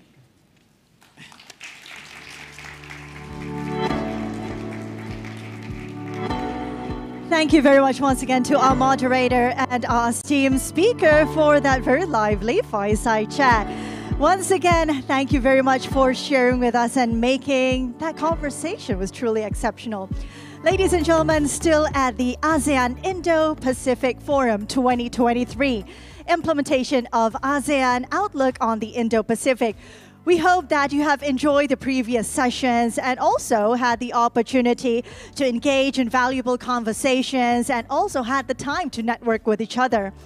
We are now very excited to continue our journey of knowledge sharing and collaboration. But again, we'd like to thank all of you for still being part of our event today. And We'd like to invite all of you also to rekindle our enthusiasm and focus as we're about to delve in the next session. Ladies and gentlemen, we all know that this forum aims to unlock further opportunities and how we can find ways to build stronger connectivity between ASEAN countries and the Indo Pacific, and find ways to promote collaboration in the Indo Pacific itself. Knowing that this forum has invited 88 speakers, gathered around 2,500 participants from 51 countries.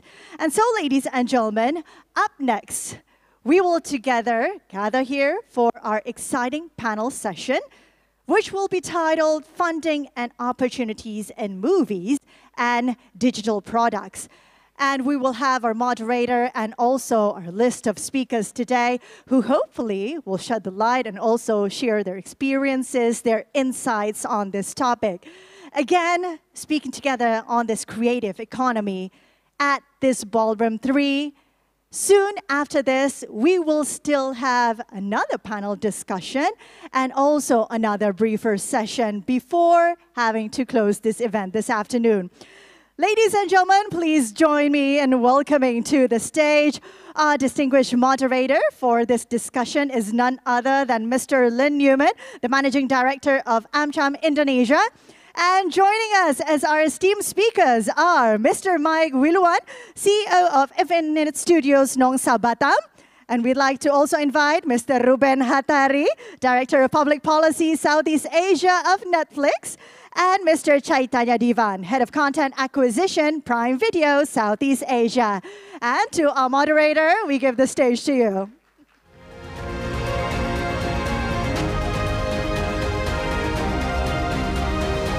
Microphone live. Can I be heard? I guess so. Okay. Well, good afternoon, ladies and gentlemen. I'm quite um, honored to be at this uh, session and to be asked to moderate a discussion. Um, we have with us three panelists who are um, quite uh, distinguished and active in the field of uh, film production. Uh, I'll start by uh, mentioning, I guess we'll start from my immediate left, Mike Wiluan, who is uh, one of the leading figures in uh, Indonesian film production and studio work, animation, and other things. He is the CEO of Infinite Studios and uh, Nongsa Digital Park uh, up in Batam. and a very leading, a leading uh, player in, uh, in the industry here. In addition, we have my old friend Ruben Hattari, who is the Director of Public Policy for Netflix, uh, Indonesian, of course, but based now in Singapore for Netflix. And in addition, we have Chaitanya Divan, Head of Content Acquisition for Amazon Prime Video in Southeast Asia. Um, gentlemen, welcome. Thank you. Thank you. Um, I want to start, if I may, with a, sort of a general question, but that has a lot of components to it. Um, and it's a conversation that we have in Indonesia frequently, uh, and I don't think we've quite worked it all out yet. But I'd like to give each of you an opportunity maybe to discuss what does it take to create a roadmap and a, a climate, and a positive investment climate for the growth of um, film production in this region, but also we're all active in Indonesia, so I think it's worth talking about that. Some, some countries in ASEAN are more successful than others in this field. So maybe we'll start with uh, Chaitanya and then work our way this way, give each of you an opportunity to tell us what your ideal roadmap would consist of and what, what we need to do to unlock uh, funding and, and other, other aspects of film production in the region and even in Indonesia. Sure, thank you Chaitanya. for that, uh, the way I like to think about this is there is a value chain in the media business, right? And what is the value chain here in video entertainment? It really starts with content creators, and we know that that is already a flourishing ecosystem. There are a lot of ideas out there. These content creators now have access to some of the tools that enable them to create, easily create uh, audiovisual content. Uh, and then after the creators come uh, this, the services that bring together all this content in a form and format that can be consumed easily. So whether that's streaming services like Prime Video or whether it's the TV channels out there, they are really the second part of that value chain. And then you move to the distributors who are in a position to take these services to uh, the end consumers. And of course, the value chain ends with the customers who are, who are uh, engaging with this content. And, and the way to think about it is for each part of this value chain, what is the ideal uh, number of players? What is the size of that uh, part of the value chain? And what are the specific needs in that step of the value chain? Right? And what can we do to strengthen every step of this value chain? Because ultimately, the strength of any chain is really equal to the strength of its weakest link. And if we are able to strengthen each part, then that ecosystem can flourish to create the kind of content and creative economy that we require. Ruben? Um, thanks for the question. It, it's kind of hard trying to think about a roadmap for the creative sector because, you know, being creative, we don't really plan on roadmaps. Um, but, you know, I think you know, Netflix, we, we have been around in Southeast Asia since 2016, and we have seen tremendous opportunities here in Southeast Asia in terms of, you know, the local content that we could potentially bring internationally, not across in the countries where we operate, but not across the, region, but, you know, globally, right? So um, I think bringing some sort of a framework where, you know, we do have a clear plan on to grow the, the, the local film industry is very much needed. And I know many governments across the region is looking at this, um, this, this plan or the, the roadmaps uh, very, very seriously. But, but if I have to kind of look in, you know, four, maybe four specific areas where, where I think, um, you know, we could really deep dive and spend a lot of time collectively, I, I think one is that uh, investing in the human resources in the film industry, right? I think that's, that's very much needed. And I, and I see this uh, very much across the region where, um, you know, the, the, stories are there, but, you know, you often go to movies here in, in Indonesia and, and the talent pool, whether it's above the line or below the line, you know, we're tapping into the same resources over and over, and I think Mike will speak more about this uh, later on as well. Um, so I think kind of growing, growing that, um, that human resources, you know, not only quantity but quality as well, I think that's very much needed.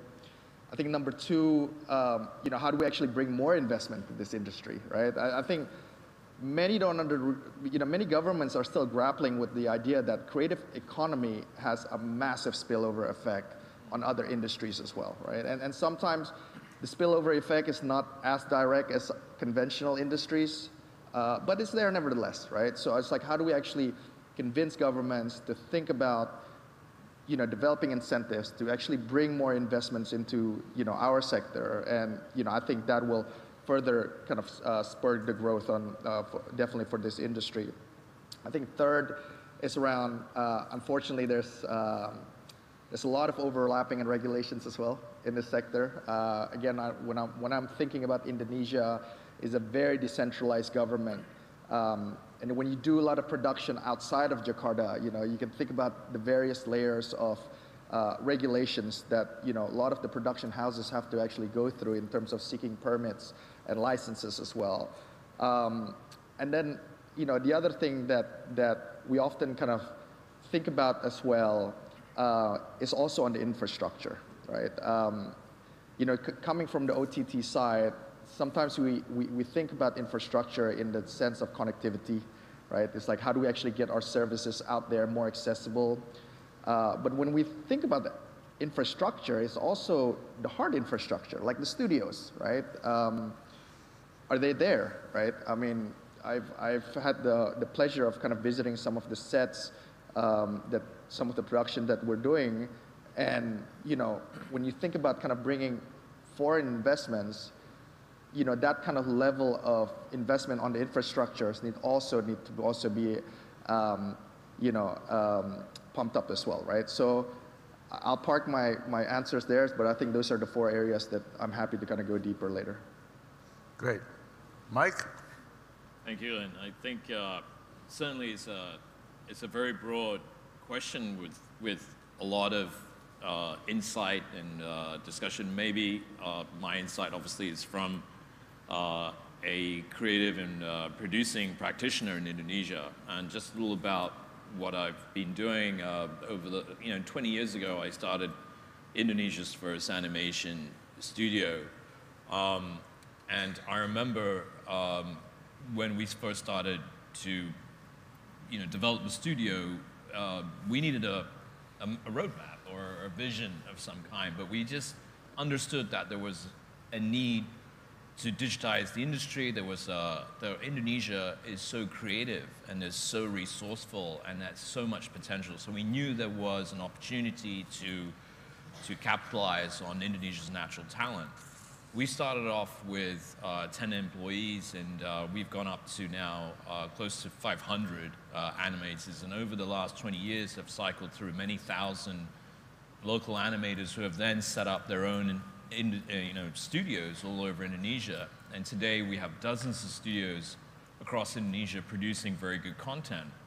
And I remember when we first started producing the content, there was very little chance to get the opportunity to work with major studios um, and we had to prove ourselves. And uh, over the last couple of years, uh, the first couple of years were really tough, not just promoting ourselves as a studio that were able, was able to produce great content, but um, internally as well to see the involvement and focus of how the market and the, the resources reacted. I remember when we first started hiring our first animators, I had to ask their parents' permission to, to hire them because they didn't believe that their kids would have a future in the industry where they would go and play with cartoons and draw, right? and they just felt it was a waste of their time and that, you know, in two years they would come back and work for another industry that was more certain. So I had to uh, do these seminars for parents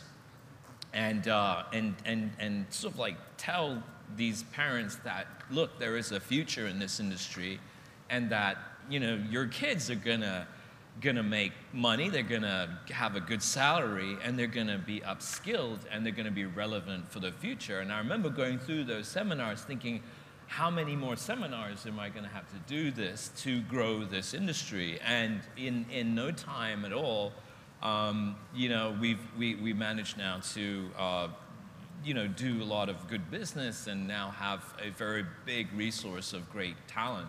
But just going back to, that's just an analogy of how internally we've evolved in terms of the industry. But just in, as a whole, the, the creative industries, uh, like my esteemed uh, colleagues here have mentioned, that it's a huge business and it's not just uh, actors and producers, right? It's a whole ecosystem of, uh, there's, there's the crews, there's the creativity, there's the writers, there's the directors, there's the equipment, there's the locations, there's the um, you know, there's the, the, the TV studios who support, there's the, the OTTs that are involved. It employs hundreds and thousands of, uh, of uh, uh, like, there's a lot of employment and benefit to tourism, to the economy, for films that come into Indonesia that are made. Um, and when we talk about the reference to, like, a lot of, lot of, lot of people talk about the Korean wave the Korean wave that has swept the world and how the industry has really ignited um, not just the promotion of Korean culture around the world, but the Korean film industry, right? It has really ignited um, and has found distribution and huge market and appreciation elsewhere. So we, we kind of feel that ultimately Indonesia has that massive potential, not just domestically, but for us to be able to export content internationally. Now, a couple of years ago, uh, you may remember uh, that there's been a few films that have been made that, uh, like The Raid, and uh, that ignited this huge renaissance in action genre in Indonesia. And after that, there's been a, quite a few movies that have been made with Indonesian talents that have found a huge following and market. I mean, I've been involved in some of those movies. And I've really seen this renaissance take off, and now these guys are actors and producers. They're, they're working in Hollywood, they're working in Europe, they're working elsewhere, and we're really proud. But I think one thing is missing that I think definitely Ruben's pointed out that, you know, I think there needs to be a lot more fixing and government engagement and collaboration engagement in ASEAN, obviously, with ways in which there are uh, more formulaic structures in which we're able to find financing and grow each other's industries.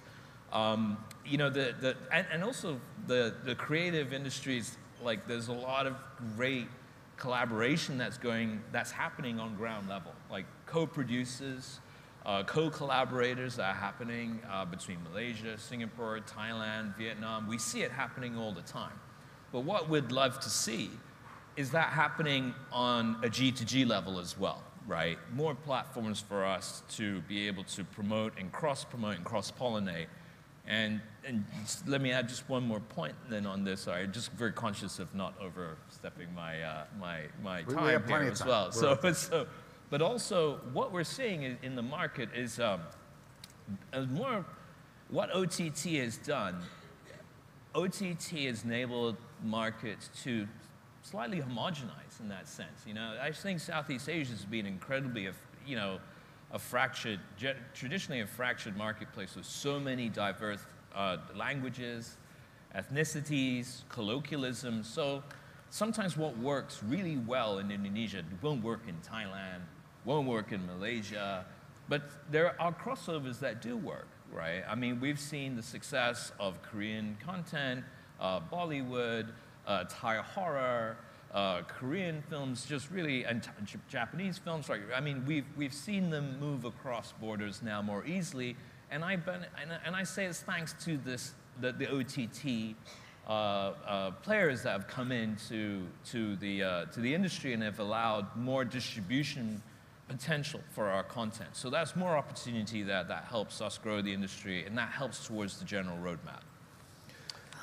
Very thoughtful answers, gentlemen. Thank you very much. Going to ask some individual questions, and I'm going to start with Ruben.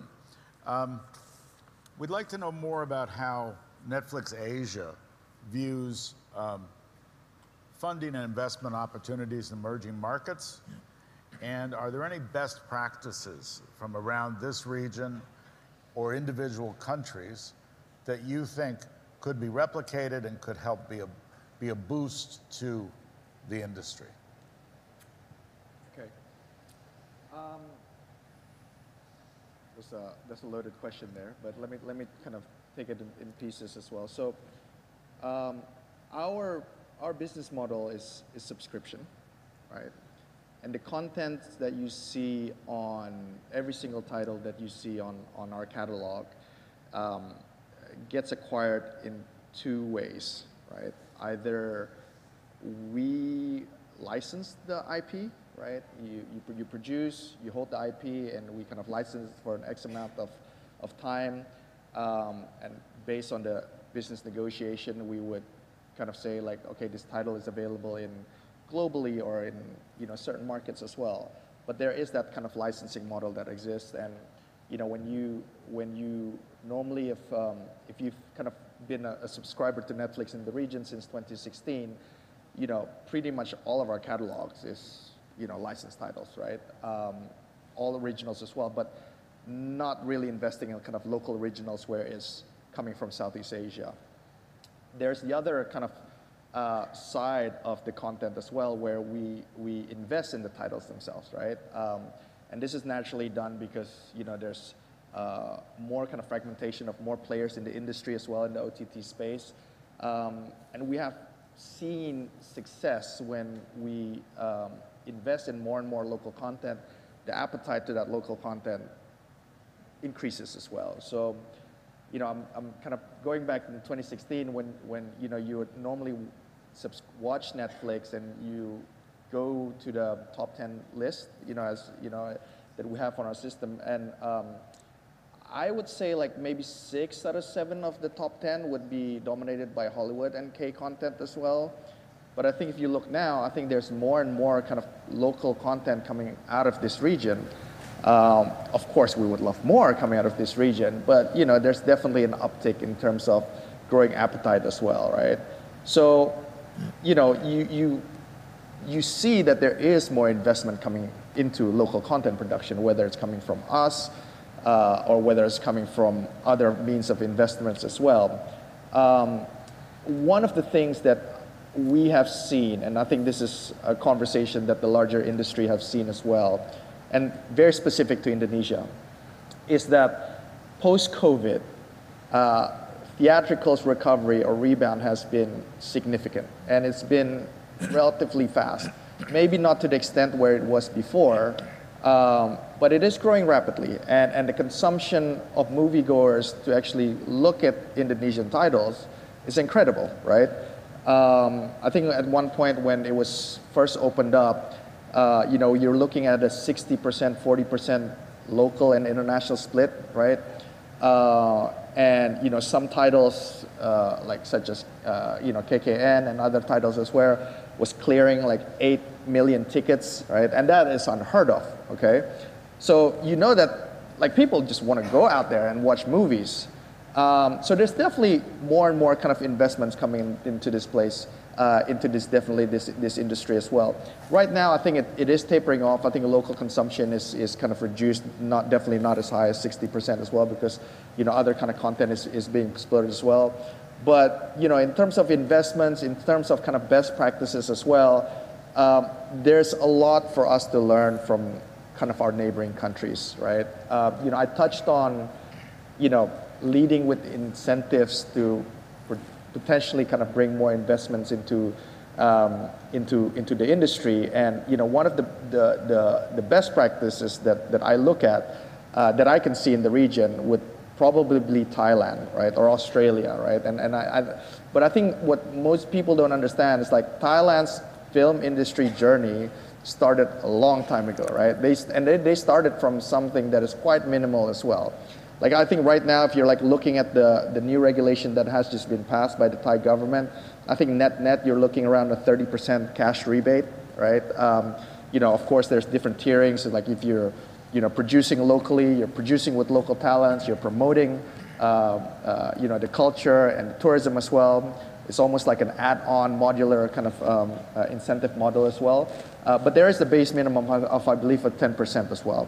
And I think I think the reality is that when almost every single country in the region is uh, going and promoting cash-based incentives, I think there needs to be like a compelling offering from the Indonesian government to really seriously look into this sector as well. It's like, well, what can we actually do um, to spur the growth of the industry? Um, and this is not about just kind of bringing inbound production.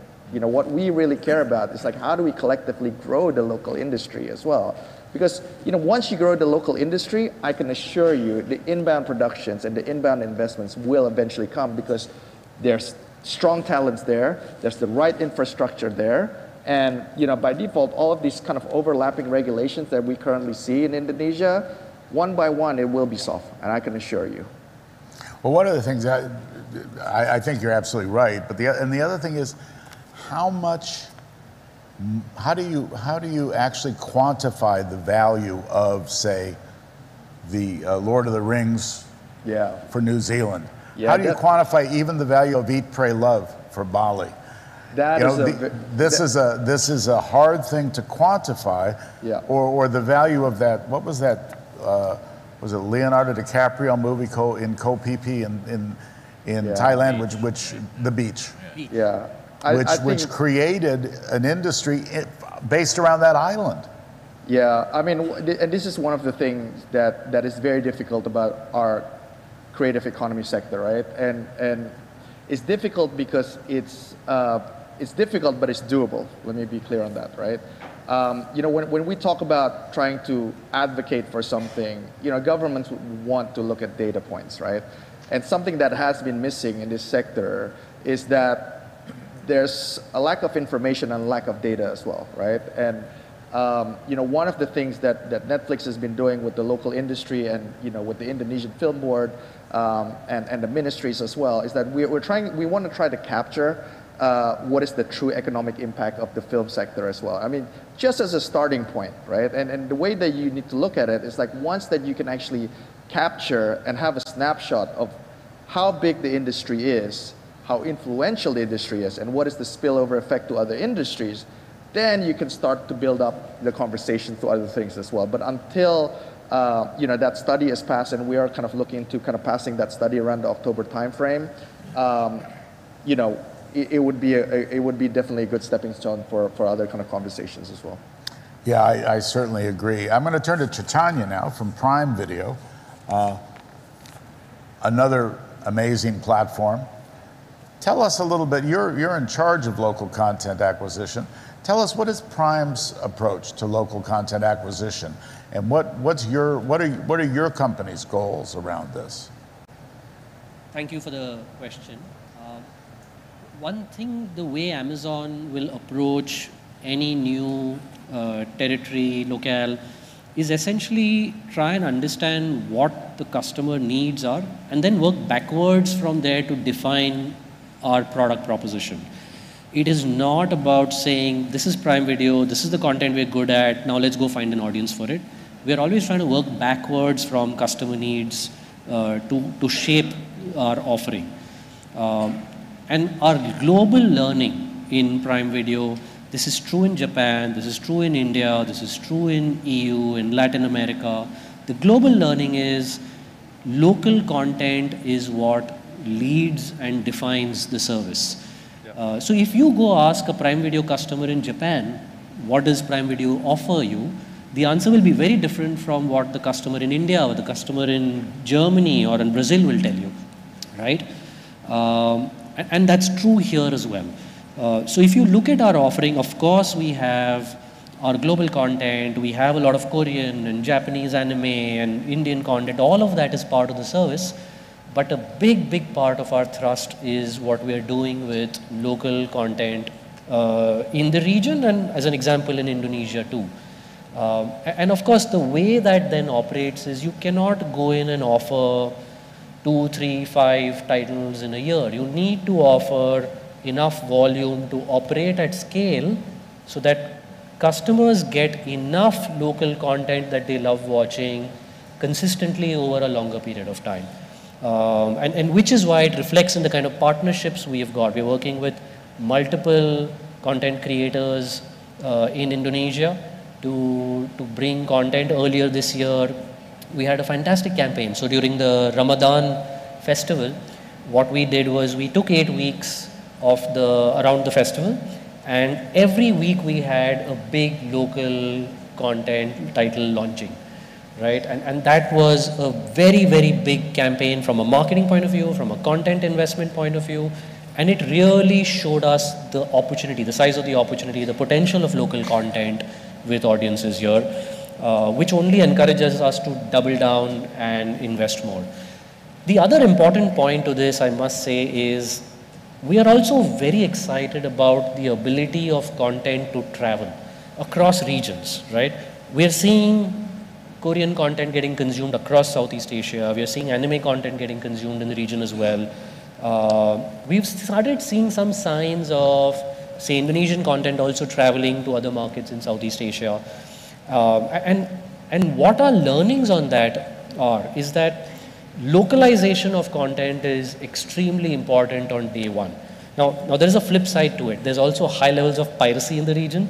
So if you're not able to offer localized content on day one, if you're not able to offer content with Thai dubs or, or uh, Malaysian subs, for example, if you're not able to do that, then there's this skyrocketing piracy which we have to face. So so to tackle that, localization is important. Uh, of course, then targeting specific customer cohorts who are who want to watch content and are open to content with subtitles or dubbing, uh, that becomes part of our go-to-market plan as well. Uh, and really, we are very optimistic that the kind of quality that we are now seeing emerging from Indonesia, we believe that we will have the kind of breakout successes that some of the other uh, the media markets have already seen. Uh, but yeah, the local content is really a big, big thrust for Prime Video. I'm going to turn now and ask a question of, of, of Mike. There's so many things we could ask you. Um, but you, you've really been on the cutting edge of this industry in Indonesia. and I'd like to ask you what you see coming in terms of technological transformation. What are the, what are the things on the horizon that are going to disrupt the industry? And, and how, is, how do you envision that playing out and how do you take advantage of it? So uh, after we started the animation studio, we, we, we and, and it was more about, at that time, finding collaboration with, uh, we were introduced to HP, and uh, they had just, uh, and DreamWorks, and we were trying to look at technologies to try to apply to our animation pipeline, and it was, it was, there was, I must say, there was very little interest to collaborate. It was more interest to sell, right? Like, how, how many computers and how many, how many servers can you buy from us, right? Then maybe we'll, we'll see if we can help you out, right? But I think that's changed a lot, and, um, and, to, and, and it's just, we've, we've made some missteps along the way as well. And I can tell you some stories that, that we, we, we were also the first. Uh, we, we looked at Indonesia and saw that there wasn't any real studio infrastructure. Um, and we knew that at some point, technology and production meet, there needs to be a good studio infrastructure to produce a certain type of content. So we, we were the first studios uh, that we, we built studios in Singapore, we built studios in Indonesia, and, uh, and we realized very quickly that um, the industry just doesn't come if you build it, right? Uh, because it's cheaper to, to, to uh, hire a set, uh, to, to hire a house and to go sure. somewhere than to build a set in a studio.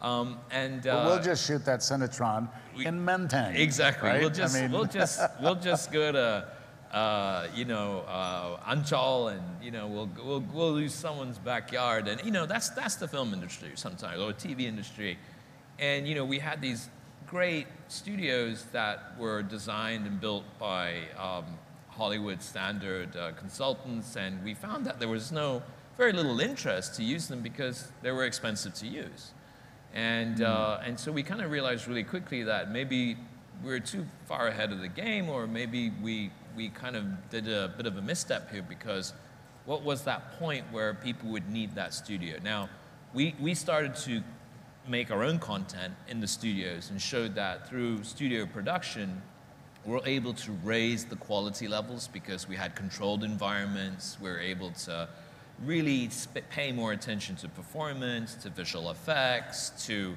and we're, we, we saw that the kind of content that was created in the studios was raising the, the standards, right? Um, and, and we were happy about that. And, and in terms of technologies, we've seen technologies like motion capture uh, come and it, it was changing a lot, right? Technology was moving at a rapid pace, like from the visual effects uh, business, that from the softwares, um, from even from uh, proprietary technology to desktop computing to softwares that we're able to download is, is changing rapidly. So we decided not to get involved with the rapidly evolving technologies because as soon as you buy something and install it, it's old. And everyone's looking for the latest thing. So that was the case with motion capture. We learned our mistake in building the studio maybe too soon. We built a studio in Singapore, and Singapore is incredibly expensive to produce content. So we've changed that model into more of the visual effects digital side, and we've done the uh, more heavy production in Indonesia. But in terms of future technology and where it's heading, we're seeing during the pandemic, there was obviously this lockdown. And uh, there were a lot of studios that were still in production because they applied this virtual production technology. Um, and many of you have seen uh, Mandalorian, um, and that was used primarily using virtual production technology. Uh, it is a sci-fi, and it did allow for the makers of the content to stay in one place and use plates uh, from, you know, shot from different uh, production uh, companies to be sent, and they were able to create it in CGI and 3D. Uh, and they were able to produce a very good looking show. But it was expensive, and it was groundbreaking technology. And I believe now uh, there are more uh, virtual production technology studios that are now being applied in, in Australia, the largest now in Melbourne, um, and in Korea. Um, and so we're, we're heading that way in terms of virtual production technology. We're already using LED systems to, within the studio, to allow for simulated environments. And instead of green screen, we're using technologies that allow the actor to interact directly with the object, right, with, with what they're seeing. Um, of course, we're still using green screen. Um, and it's, it is really moving uh, quite quickly. And, uh, you know, we're, we're, we're looking at applying it fully more in Indonesia in terms of the virtual production. But but, uh, but AI is the next big thing, right? right? You know, so I mean, I, I think we'll talk about that a little bit later, but AI has been another game changer for us because AI has been able to demonstrate a certain capability. And I think as you could see in the, in the US and in our industry, there's been a lot of worry about AI taking over the jobs of, of writers and, you know, on content creators. Um, and, and how that, but there's also the benefit of AI as well. There, there is a benefit to that, and we're exploring how that's able to streamline our production capabilities. But we're moving towards a digitized industry, all right? There are, there, but it doesn't mean that we lose the craft, right? Um, I think a lot of people forget that. I think the word of apprenticeship, so it's lost now, right? You know, it's, it's, uh, in this industry, it's a, it's a 100-year-old industry. The creative industry is based on apprentices where they learn for many, many years to do a certain craft.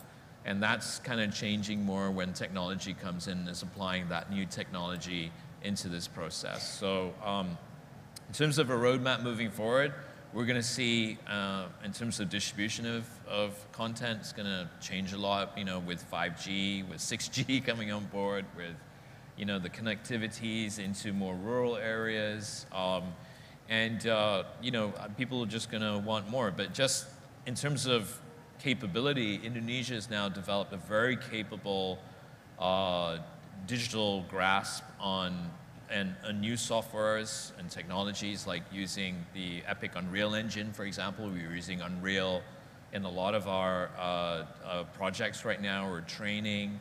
Um, and what is needed now, when, when you want to grow the industry using technology, you need to upskill. You need to upskill the workforce. And this is where vocational education comes in. And it's being able to collaborate with technology developers. And that's why today we're not looking at just buying technology. We're looking to collaborate with the technology developers, like the LED screen makers. We want to collaborate with them to how we're able to use their technology, but give feedback and how this in, how the technology can improve. And uh, using Unreal and using all these different softwares and, and hardware to, to and collaborate and further the industry, but as well as upskilling and training. Um, we spend a lot of time training the next generation of young people, like with our collaboration with Kampus Merdeka, collaboration with I- Apple Academy, IBM, AWS. Um, you know, we're, we're training this young generation to be ready for the future of technology and how to apply their skills to uh, the, the, the, the, quick evolution that's, that's, that's happening right now. And so that's, that's the roadmap that we see in the future is training and collaborating, coll- training, upskilling, and collaborating with the technology providers and, um, and keep, keep on applying that to the creative process. Yeah. Well, one of the things that I was thinking about, it's some, you mentioned Korea, I think Ruben mentioned Korea. I was living in Korea just as the Korean wave was taking off. And this was, I was, I was, uh, this was in 2007 or six, seven, something like that. And there was a, there is a question in here. There was a palpable sense of excitement in that society about the wave. You might have been an accountant, but you knew about it. And it was almost as if, well, Korea's a different sort of place. If you've never been there, it's quite amazing. But there was a, there was a sense in which the government, the public, the private sector were all in it together. They really wanted to tell people about Korea. Here's this little country built on rocks with no natural resources, and they really wanted to tell their story and create something new, and they did. So I'm going to ask each of you, we've got a few minutes left, I'm going to ask each of you to think forward five years, 10 years. Where do you see the, the industry going? What's the, what's the best case outcome you can imagine? What do you hope happens five years, 10 years down the road in this region? Uh, perhaps to replicate what happened in Korea um, or some other, something else. But I don't yet, in Indonesia, I don't yet feel that intangible thing that they had in Korea. And I, I, I would love to see it. And just ask any of you, each of you, maybe start with Chaitanya, reflect on where you think this is going to go in a few years. Yeah, let, let's look at the size of the industry right now, right? Um, I, and I'll compare with what is commonly called a thriving media market, India. Uh, India has about four times the population of Indonesia. Um, the per capita income in India is probably half of what it is in Indonesia. Uh, so just using those benchmarks, you would expect that the, the media or the video, and, and, and video industry here would probably be about half the size of India's uh, economy, the creative economy there, but it's actually a sixth, right? And, and clearly there is potential, high potential for growth if you just look at some of these macro figures. Uh, I, I, I go back to what I started with. I was talking about the whole value chain, and I'm really hoping that between all the stakeholders, from the government to the private, uh, we are able to look at the needs of the different pieces of those uh, of that value chain, and start catering to strengthen each element of the value chain. And if we are able to do that, I think then we can fulfill the potential that exists around us here in Indonesia.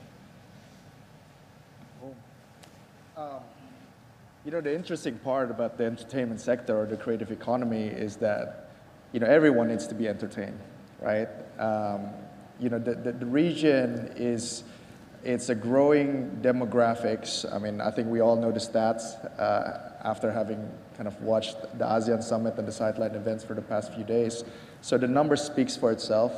I think if I can, you know, think forward and kind of look through to a crystal ball, maybe to the 10, 15 years, I think uh, the consumption of local content is going to increase, and this is not just local content that is, you know, serving every single country in ASEAN, but I think content that is coming from Indonesia going to be consumed more in the Philippines and vice versa, but also, you know, going abroad beyond um, the region as well. You know, I mean, and, and we have seen signals like this happening as well. I mean, you know, one of the most successful Indonesian title um, that came out of our service uh, is called The Big Four. It's an action comedy by Timo Tjahjanto. Um, these, this, it, was, it was heavily consumed all the way to Brazil, right? In, in like countries such as in South America, it was appearing into top tens. So, you know, we, we see the signals happening as well. Um, so I, I, I, do see a lot of that happening as well. You know, what I'm hoping um, across the region as well, and I, I think this is the mindset for many industries across the region as well, is that how do you actually cross-pollinate or, you know, have greater collaboration across country. I think Mike touched on like co-productions between countries as well. I think where, where we need to realistically look at is that, you know, are there elements or part of the production where maybe it could be done in a certain country, like in Thailand, and some parts of it can in Indonesia. So just look into the region as a massive supply chain as opposed to just one individual countries. And, and I think, you know, elements like that can happen. And, and, you know, kind of going back to incentives that I touched on before, that most countries will look at, you know, incentives doesn't have to be all about production, right? I mean, you know, when you look at the Australian model as well on, on, on film incentive, they have very specific incentives on post-production, right? Maybe like a country like Thailand where they excel in post-production, and the reality is that many producers do offload their load, workload to, to Thailand as well. Maybe there could be models like that as well. Indonesia is a country that has strong talents uh, strong writers as well? Can we actually work in a model where we just look into a very specific, um, you know, support where it's just very targeted on a particular function of a production? So I think some of those things, I, you know, I envision uh, this region and specifically in the film industry and the creative economy will kind of venture into. I think, I think uh, what is exciting from the industry is, is seeing that Indonesian uh, filmmakers and content creators are, you know, there's always been a very strong uh, pool of talent uh, in Indonesia, and it's growing. I mean, I was on a panel um, uh, earlier uh, last week where we talked about the Directors Guild in Indonesia officially has 76 people, right? But actually, there are hundreds of directors in Indonesia. Right. But like, there's a culture of which if you reach like the top 10, you got work for life kind of thing, right? But there's, but there's also needs to shift towards the, the new and upcoming talent. It's just like actors, right? Um, once you're in the top 10, you're going to be busy for a couple of years. And, um, and, and, but sometimes industry also has to force themselves to change and give chances to new and um, emerging talents. Uh, and Indonesia has tons of that, right? And so sometimes our film industry or our TV industry, we, we make too many easy bets on the same people all the time. And I think it's forcing ourselves to kind of look at, at making bets on new talents and growing that, right? Because there's just so much great talent here in terms of the filmmaking side, the performance side. Um, and what's exciting is that also now filmmakers are mining the colloquialism of Indonesia and doing very well. We're seeing uh, more and more cinemas. Uh, I mean, we always know that Indonesia has been underserviced for the for screens, right? I mean, we have one of the we have the largest uh, markets in uh, Southeast Asia, but we have probably the less screens per capita, right? And uh, per, and and it's um, and and we're seeing that grow, and we're seeing I mean, Ruben mentioned that after the pandemic, we've seen unprecedented levels of cinema goers, right? I mean, uh, like going beyond, you know, seven, eight million, you know, I mean, I think the record before uh, pandemic was four, four million, right? So we're seeing double that. So, you know, the prediction that no one's going to go back to the theater, right? No, I mean, people love going to the movies, sure. right? People love going to the movies. Now, we just need more screens and and when those screens begin to go uh, online, more and more people are going to the movies. So what the hope is, and what we do see, the positive side is that with more investment, with more infrastructure, with more screens, uh, we're going to see this very robust and strong domestic market going to grow. But at the same time, we're going to see this evolvement from just a colloquial market to a, a producers or creators who are going to look at distributing their content beyond shores. And we're going to see a new wave of Indonesian content that's going to go across. And we've already seen that. We just need more of that, and we're very confident that's going to happen. Well, thank you very much. I've got flashing red lights here. I've got a sign over there that says time's up. I'm afraid they're going to turn off the lights and shut down the microphones if we don't close and let everybody get on to the next event. But I want to thank you gentlemen very much for being here. Uh, and I want to thank the uh, organizers for giving us this opportunity to have this panel. And ladies and gentlemen, thank you so much for listening. Thank you. Thank you.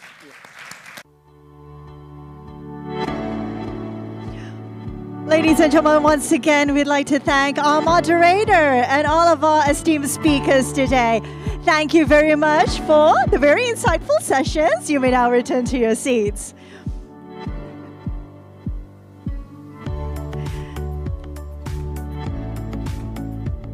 And now, Excellencies, distinguished guests, ladies and gentlemen. For our next session, we will now follow another briefer session as we still have another esteemed speaker who will offer us valuable insight focus on the rise of the experience economy. So, with that, please join me in giving a warm applause as he takes the stage, the Managing Director of FGBC Asia Pacific, Mr. Franck Gentil. The stage is yours.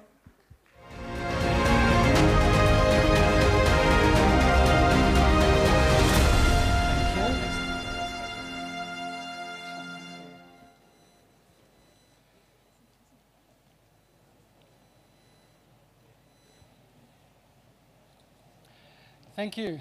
Um, good afternoon, everyone. I know it's uh, we're reaching the end of our long sessions over the last few days, and I hope everyone's uh, still having a wonderful time and learning as much as possible. Certainly, I know that I am. So, um, thank you for joining us for this last session. So, the experience economy. Um, it's a radical idea of thinking about the experience economy in the reality that with the experience economy, time is the currency of value. And this is quite different. It's um, more important than volume or range or any metric. The value is the impact. So it means that we get a situation where we want to understand whether we, having, we are spending our time well, so time well spent, or we have saved time. And that ends up with emotional reactions in the form of, I'm so happy we did this, or we sure got a lot done. So it's a very different way of, of actually measuring activity. And where it becomes most powerful, as we will understand in our next speakers, is that when we create a situation of collaborating creativity with technology, we can satisfy both of those needs. And that's a unique situation. So we get an enhancing time and an elevating of time. So deeper interactions as opposed to just normal interactions and smart ways of doing things. And I think about it in terms of really practical things, the fact that we have live streaming. So rather than waiting for something to be finished, we can actually interact from the very beginning. This is a direct correlation of creativity with technology. We have immersive storytelling, where we're actually part of the story. Things which may seem to be relatively fickle, um, like gamification, in fact, really gives huge entry into things like education and banking, genuine content personalization, so things which are personal. And we also have probably the most impactful component of the experience economy is monetization. So we're able to seriously, the creative people and the people in developing both the technology are able to make money out of the exercise, where in fact, previously they've actually been sort of sidelined. So this has impacted all of our sectors, right across from entertainment, finance, healthcare, and hospitality. I'm old enough to understand what it was like to interact with all of these sectors before the experience economy, and it was really difficult. It was difficult going to the doctor, it was difficult making a banking transaction, and now everything is nice and straightforward, and this is a direct correlation of saying that the experience of operating in this economy is more important than the volume and more important than the range. But by far the biggest, I suppose, result and the biggest component that we get from the experience economy is we're able to move away from the pursuit of perpetual growth, almost at times the pursuit of perpetual growth at any cost. In this situation, we're able to move away from that and start really committing to perpetual improvement. Rather than doing more, we're actually thinking about doing better. And and I think this is the huge experience economy gift that's been uh, put upon all, uh, all our sectors. And if you think about it in terms of a real metric, an old metric that we're used to, the experience economies are currently valued at 1.6, or this is prior COVID, 1.6 trillion dollars. So it's a real exchange in terms of genuine economy. So the creative sector have become agents of solutions. We're genuinely producing things which are solving the issues at hand. So, of course, with that situation, is that with greater power comes greater responsibility. And now, esteemed speakers that are going to come up stage now are going to talk about how they're committed to the perpetual improvement and advancement, but also how regulation is going to play into their obligations. Thank you very much, and please enjoy the next set of speakers. Thank you.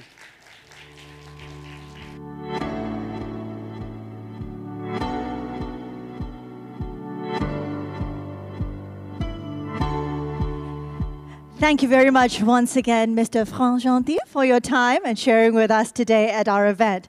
So, ladies and gentlemen, now we will move on to the last panel discussion of the day. But before we're about to invite our moderator and also our speaker today, once again, I'd like to invite all of you that in the spirit of collaboration, together at the ASEAN Indo Pacific Forum 2023, we have discussed on three major issues today, and now being at the Ballroom 3, speaking more about creative economy. And so with that, ladies and gentlemen, moving on for our next panel discussion of the day, we'd like to invite to come and join us on stage. We will be discussing further about the topic of advancing movie and audiovisual entertainment industry through better regulation. It is a pleasure for me to call upon our moderator, British Council Director, Southeast Asia and Country Director, Indonesia, Mr. Summer Xia. Please do come and join us. And all of our speakers today, Joining us, Mr. Darren Ong, Head of Digital Services and Global Selling, International Public Policy of Amazon. Mr. Danny Wirianto, CPO of GDP Venture.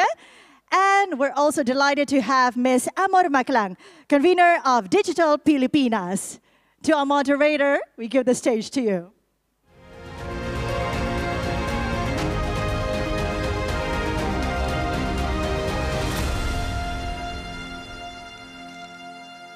Okay, I hope you can hear me. Yes, you can. Excellent. Um, Good afternoon, ladies and gentlemen, or selamat sore and selamat datang.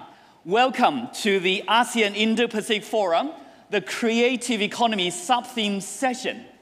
So we have the last session of the day. Let's try to make it the best, shall we? Excellent. Thank you to all of you in the audience for staying with us until the very end. You must be the hardcore practitioners and policymakers in the creative economy, so I'm delighted to see some of you nodding and smiling.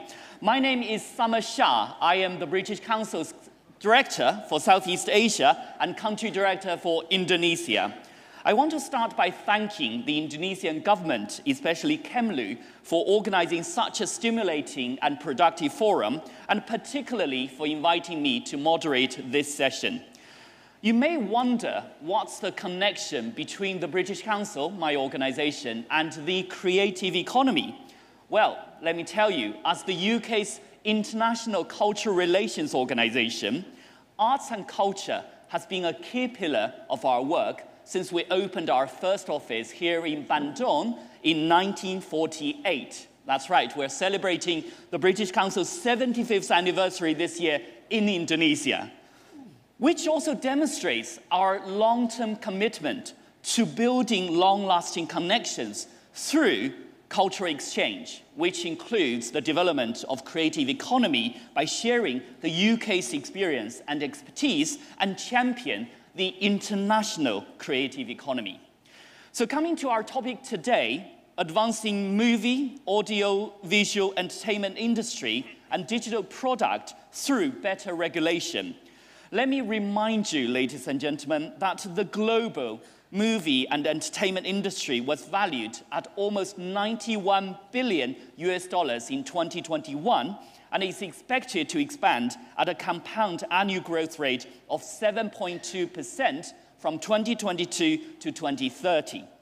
Moreover, the rising popularity of virtual and augmented reality provides audiences with new experiences and new marketing and distribution platforms, such as IPTV, digital newspapers, DTH, and digital cable, as well as online music and movie sales, which are expected to accelerate the industry growth.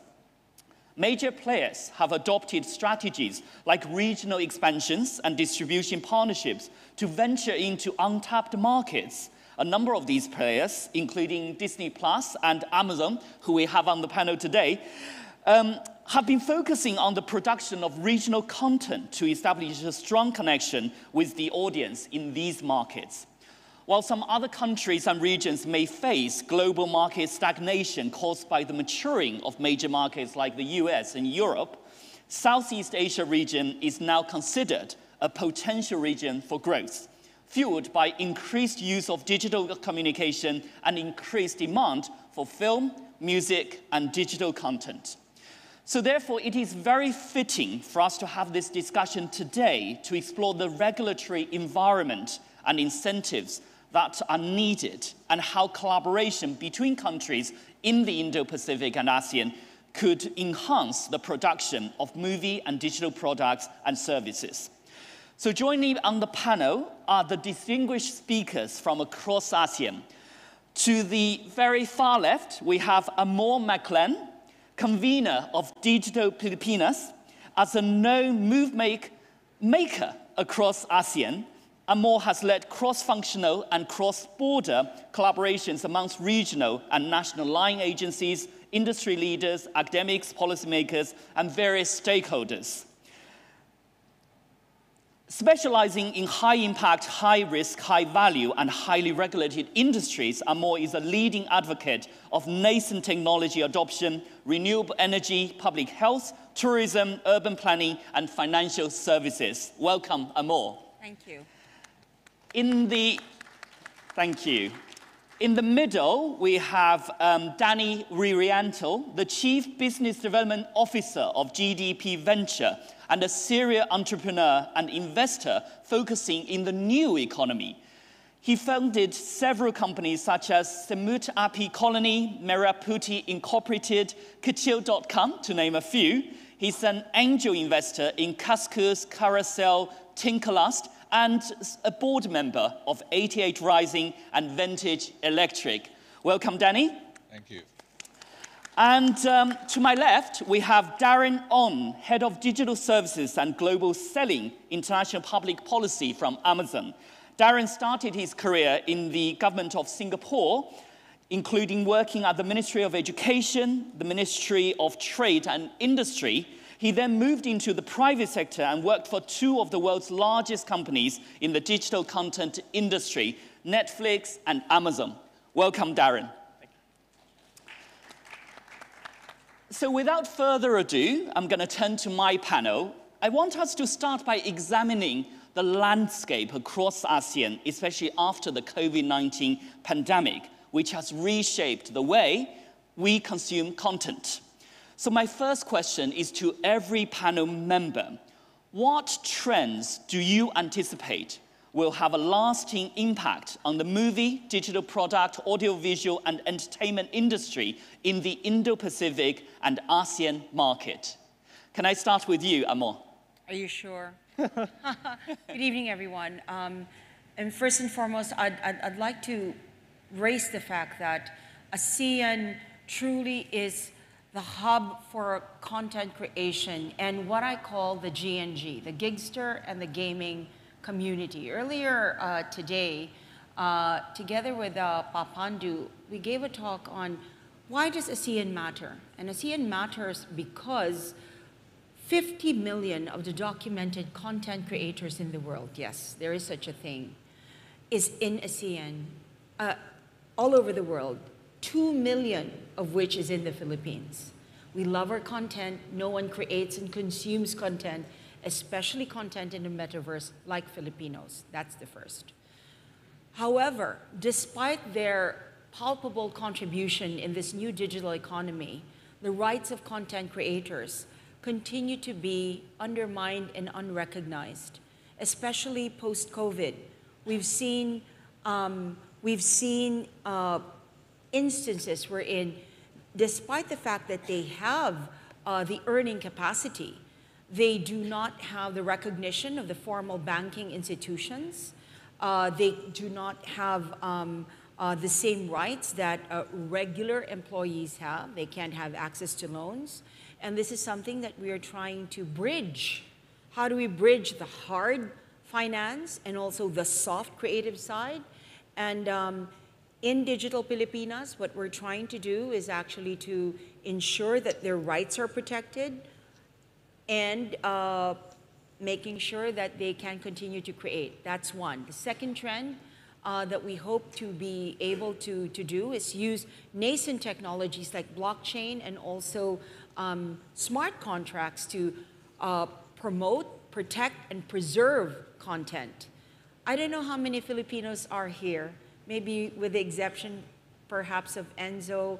And I take exception, exception to the, who perhaps is the most um, digitally active ambassador uh, in ASEAN, Ambassador Joy, who's super, who's such a super content creator. In the Philippines, we have a national legacy called Tito Vic and Joey. For 40 years, they have been a national treasure on TV, creating content. And very recently, there has been a national brouhaha that revealed that apparently all of their content is not theirs. So there's this huge legal battle that actually shone the light on the fact that no matter how big you are, your content is not covered. And this is where the son of one of the progenitors of uh, this triumvirate actually took it upon himself to champion uh, the rights of content creators using nascent tech, but more on that later. So those two things, protection of their rights and using uh, frontier tech to protect, preserve, and promote. Thank you. Thank you very much, Amor, for that um, well, I guess healthy challenges you raised, um, you know, for us to explore more later. Um, can I come to Danny now? Are there any opportunities you see in addition to the challenges? Yeah, I think like from point of view of an investor, we see like, I think like the last panelist just mentioned about like the rise of like localized content. Mm. I think like local content now has become so resonant and relevant to the market because it's like is empowering like the local culture and also like empowering like Asian, you know. I mean, like I think like what we do, like what we did, we invest on like a company called 88 Rising, which is bringing like Asian culture to the world. And what happened is actually like a lot of people are resonant to it. That not including only like the Asian, but it's also like, you know, all other uh, type of people that like in this planet that like really into it because they hear something new, they hear something fresh. It's not cookie cutter anymore, you know, and it's something like new. And the way we see it, like I think in the futures, like more and more, like I hope like more company or more talent like 88 will rise, will appear. and that will create like very uh, good like I think like diversity and also like inclusivity on in terms of our uh, culture. Thank you, um, Danny. I, I, really like the sound of bringing the Asian culture to the rest of the world. Yeah. And I think, as uh, you know, many have mentioned that actually, you know, the center of the world or the focus of the world is moving east and south. So I think, you know, the culture is good starting point. Without understanding each other's culture, how can we do business together? So I think certainly we want to think more on this topic, you know, how regulations can help with that. So I'll come back to you on that. But uh, um, Darren, would you like to add to um, what has already been said? Sure, sure. Selamat sore. Uh, salam sejahtera, Bapak dan Ibu sekalian. Good afternoon. It's great to, to be here on this stage and I want to piggyback on something which uh, Danny had mentioned. So I think if we take a step back, you'd see that there's always been talk about how the world is shrinking. But over the last few years, despite COVID, us being trapped in our homes, I feel that the world has actually shrunk a little bit more in the sense that we are also much more connected to one another digitally when you think of it in terms of digital entertainment, then you have content that's at your fingertips, and that content comes from all over the world, mm. which is amazing. I think there's a great opportunity then for content creators from around the world to share their content with, uh, with the world. Uh, great opportunity here in ASEAN, and like what Danny mentioned about uh, where new companies could be formed, what the new opportunities are, the, the amazing society of content creators that we see in Philippines and elsewhere, I think there's just so much more uh, room for you to grow. But at the same time, that also means there's a lot of competition. Mm. So I think overall the pie will grow for everyone, but who gets a bigger share, how fast you're growing your share of the pie, and whether we're all taking bites from each other's slice and so on, right?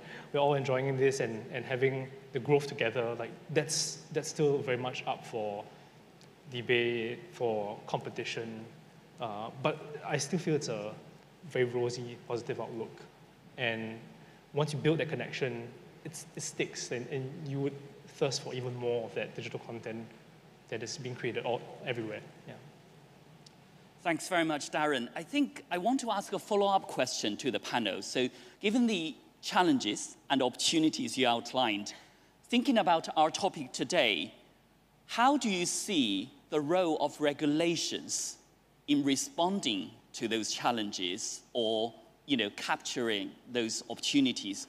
Do you think we should tighten the existing regulations or make it more lenient? Okay, let me Danny? start. I think, like again, from a point of view investor, we like to be clear and stable, mm. for sure. When we invest on like any region, we we want to know like what kind of like regulation, how we can get protected. Mm. I think like the, the, the trouble at this moment in terms of regulation, there's a regulation, but there's no eradication. A big example is a piracy. Mm. I mean, there's maybe it's, a, it's another challenge itself to, to, to eradicate, especially with the internet. You know, I think like we can see like Amazon like show probably in YouTube or like in the piracy website. And those kind of things, it, it ruin like the creator, ruined the investor, and also like it, it ruined the ecosystem itself. Mm. Because no one win except the pirate. And I think like that's need to be taken care of it. And in terms of also like regulation, I mean like we want to be fair. I mean we I love Netflix, I love Amazon, I love I love like Disney Plus, don't put me wrong. But like how company like Viu or Mola can compete with this big giant company if there's no fair regulation. It's very hard for a small company from the region to grow if there's no regulation whatsoever. I mean, we talk about compare amateur again, you know, EPL. It, it's a big, big different game, different skill. So I think that like they have a need like a clear regulation. Therefore, the investor will invest. I mean, no doubt on that. Because nobody, you know, nobody, you know, we, we see like Southeast Asia is growing, but we, we invest a lot in uh, the US. We invest a lot in Europe. We invest a lot like in the region that like that the regulation is very clear. But they targeted the market where, you know, the opportunity are. You know, we invest in 88 in LA, but the market is Asian. Why we want Asian? Look at the population in the world is two-thirds is Asian. Nobody focus on it. You know, and like there you go. We, we just invest on it, and like it proven ro- work. You know what I'm saying? And I think that's a uh, in terms of uh, regulation, we want like something that like more stable and more clear and fair, and also eradicate. So stability, fairness, clarity. Yeah. So um, before I, yes, Samuel, go ahead. Do you want to add to that? Absolutely. Because I look at content like assets, right? Uh, just like money, uh, whether fiat or digital, content is an asset. Um, and uh, my approach to anything of value, the future is decentralized. Content is decentralizing. Um, content creation lies in the hands not of a central body that will control it, but rather in the hands of a content creator. What we need to be able to do is enable a content creator and provide them with the requisite tools and technologies that will allow them to promote themselves, that will protect themselves, that will allow them to monetize themselves and do the exchange themselves peer to peer. Okay? That is where the future ought to be. The best way to regulate is to regulate peer to peer. Now, where does that sound? Like, it sounds like a decentralized exchange, right? Um, in the same manner, where you need to look at the parallelism is in um, the central banking. Where is the movement of central banks? It's in the decentralization of assets, whether it's fiat or uh, digital assets, right? So I feel like the question, when you asked us earlier, what is the role of regulation? Which part do you want to regulate? Is it content creation? Content creation, I assure you, I bet you my bottom rupiah that or pesos, it's going to be decentralized. Now, what other aspect would it would it be in the um, area of investing in um, uh, digital assets, for example, the rights of how do we protect them? So there's an entire um, value chain in content creation. The question is which aspect. Uh, but I think the primordial thing we have to talk about is ownership, right? Ownership, which equates to monetization, and I think the future, just like with anything of value, should be decentralized. So decentralized peer-to-peer regulation, stability. Uh, that's kind of like an oxymoron, right? Uh, but I think it's going to be peer-to-peer, right? Much like BitTorrent. But then that's for another conference altogether. so, Darren, working for a giant player in the Centralized. industry. uh-huh. So, how would you welcome those changes proposed by the other two panelists? And also to add to your original question, whether I didn't propose it. have- It's the trend. That's where it's going. uh, whether it's better to have more or less regulations and so on, I, I don't really think about it in that way, but I think I'll consider whether they are good, effective, impactful regulations versus the bad ones with all the undesirable consequences. Because if, you, if there is a policy issue, there is a policy objective, you have an effective policy, then it's great. You can have 10 of those to address 10 problems, and it'll be good for everyone. Hmm. It could give you the clarity, the stability that the investors want. It could give you the protections, the opportunities that the creators want. So I think there is one fantastic example already hmm. in ASEAN, in Indonesia. Tax is often an issue which is in the headlines, um, and big companies naturally often then get attached to those headlines too. Hmm. But if you see the experience of Southeast Asia in introducing a tax on digital services, hmm. the rollout has been smooth, it has been progressive, and it has already been done in most Southeast Asian countries. Several years now, in fact, for, for some of our countries. I think that has given clarity to the companies. Mm. It's given the, the governments Mm. an answer to the question how do I properly, accurately, and pragmatically tax companies? So I think there is a way forward for us to find more good regulations. And Mm. if we can find them, fantastic. If there are proposals for bad, if their proposals for regulations that are starting to look bad, then uh, I hope we can correct course and uh, look for better examples elsewhere. Excellent, thank you. Um, so, I mean, certainly representing the, you know, the UK organization and the UK, you know, we do feel that the introduction of tax reliefs and, uh, you know, offering um, talents the opportunity to thrive in the, in the UK has certainly helped us to grow the industry. So, so there's a lot of experience we can share. Um, I want to bring, sort of move us on to talk about diversity and inclusion in this part of the world. And I think some of you already allude, alluded to that. There's so much nuances. And then this region is known for its diversity in terms of culture, ethnicity, history, religion, and etc. Um, maybe I'll start with you, Darren. Living in a multicultural environment like Singapore, considering the diverse socio-cultural backgrounds and regulatory landscape of countries across the region, what is your strategy in shaping a curated content that's suitable for each consumer? Right, right. And I also recall that earlier this afternoon, Her Excellency from, Cam- from Cambodia talked about cultural assets being one of the three main assets that they have.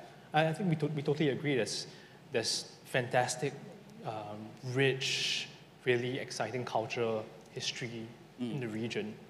That was one of the reasons why Amazon decided to launch our Prime Video service in a number of Southeast Asian countries over the last year. So now, with Indonesia, Philippines, Malaysia, Singapore, Thailand, they have a localized Prime Video service for them. And for each country, local content remains a key pillar. So my, my colleague Chaitanya was sharing about some examples earlier. I think even for Indonesia, there have been some fantastic local content on our service. Induk Gajah, A+, Sabtu Bersama Bapak, and many more to come. Um, Chaitanya's team is super busy closing deals. So I, I, I find that when you have local content that speaks to local customers, it can not only help to grow that, that content, but also with a global service like ours and many other um, esteemed companies here, there's the opportunity for, for content to start to be shown, be uh, loved by, by audiences elsewhere. So the, the customer, a customer in, in Brazil may actually have the same taste profile as, as I do.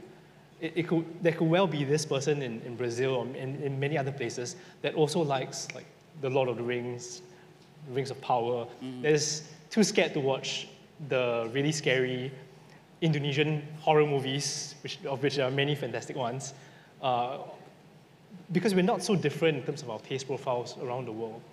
So when you have, fortunately, scale, that means you also have the opportunity for, um, for penetration and you pass it on to the creators.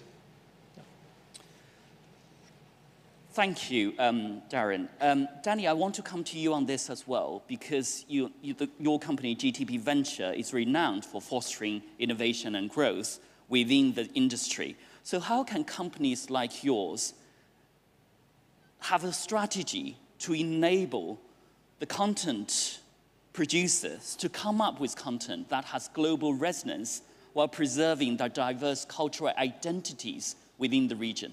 Well, to be honest with you, we're not the expert on the entertainment.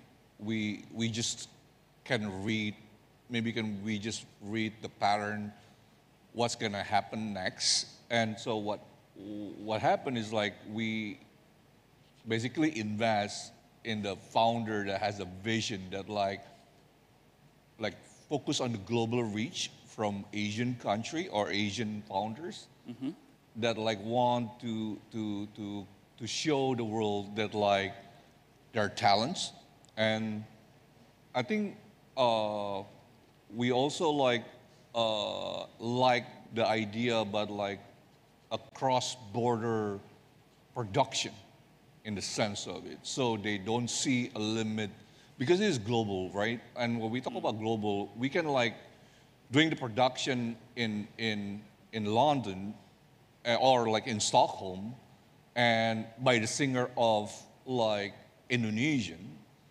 but also like the writer from from other country, you know.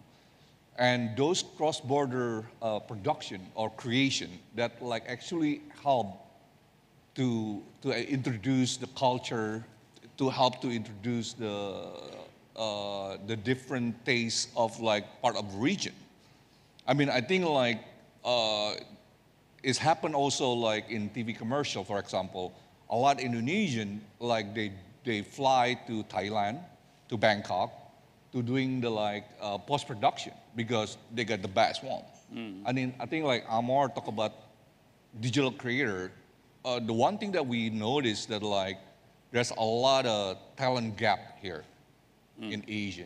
There's one country really good at post production, one country really good at like you know creating, uh, like movie directing or like music, you know, singer, but like the other country really good at you know scripting. I mean, like there's not. I don't think it's like in Asian. There's like a country that like have a fully like the whole ecosystem like United States. You know, it it take time. I think like back to regulation. I think what I want to add it. I think the government need to like focus on the talent, like you know, invest on the talent. I think the the the the, the work within like uh, the government, the business, the academy, uh, the community, and also like the, the, the, the creator is like need to be synergy. Because if not, it will not happening. I, w- I absolutely agree with that. And I think that's a running theme across this whole forum about that regional and global cooperation and collaboration, you know, that will enable and empower the talents that we have across the different countries in this part of the world. Um, so Amor, maybe, you know, I can ask you to add to that what kind of initiatives and, you know, um, ideas you would propose to enhance that connectivity and collaboration both regionally and globally. So, for one thing, um, we look at technology. Uh, so, my, my, uh, my slip is showing. My slip is primarily in fintech. And we look at fintech as a horizontal and not as a vertical. Our main objective is to embed it across various industries. That is our hope for culture. And the one industry that we hope to actually give life to using fintech is culture. And in the Philippines, we are going to be launching it during the Philippine FinTech Festival with a focus on ASEAN, and we call it Culture Tech. Because we are done with being the biggest market, one of the biggest market after Indonesia, of Korean content. We love Korea, don't get me wrong, I love Korea. As a matter of fact, I said this when I did one of the keynotes in the Korean FinTech Week last, a few days back. I just came from Seoul. I love them to pieces. Indonesia and the Philippines are two of the biggest um, uh, consumers of Korean content, Indonesia being number one. Number two, I think, is um, uh, Japan. Uh, third is the Philippines, and fourth is South Korea. And uh, there is something that we need to take from there. Because by energizing culture, applying technology, and monetizing it, as this fine young gentleman said earlier, we are able to create a ripple effect in the economy that will cascade to tourism, cascade to food, cascade to manufacturing, and everything else, right?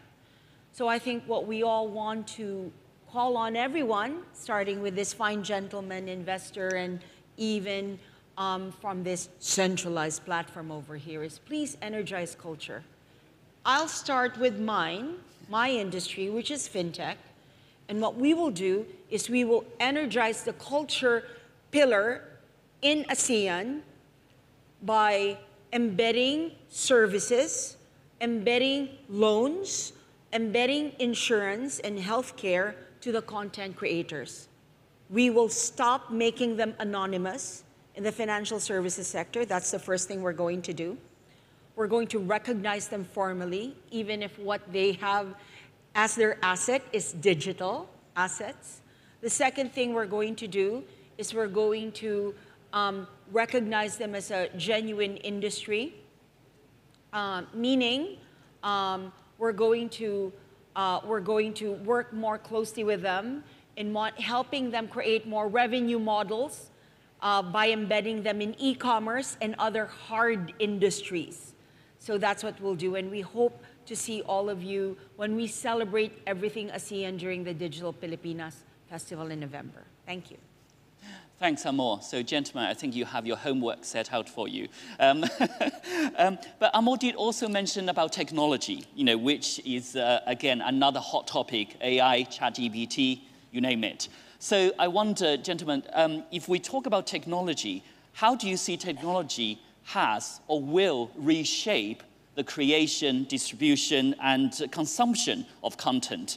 And um, how do you think we can leverage technology to harness these opportunities? Decentralized. Decentralized. and what else? Danny? Well, I think like technology is keep growing and keep evolving and I've been investing in like in technology. But one thing like the technology can be double-edged sword. I think like AI, we need to rethink about the AI in terms of like in terms of creative it will kill a lot of content creators like so quick. So like if the, the regulation is not in place, you will, the two million people, it will be literally like nothing, you know. I think like the hardest part, I mean, we loved AI, we love like the new technology, but like we, we also scared on like what it will cost the, the, in terms of the ecosystem in, in, in Indonesia or like in ASEAN because we're not there yet.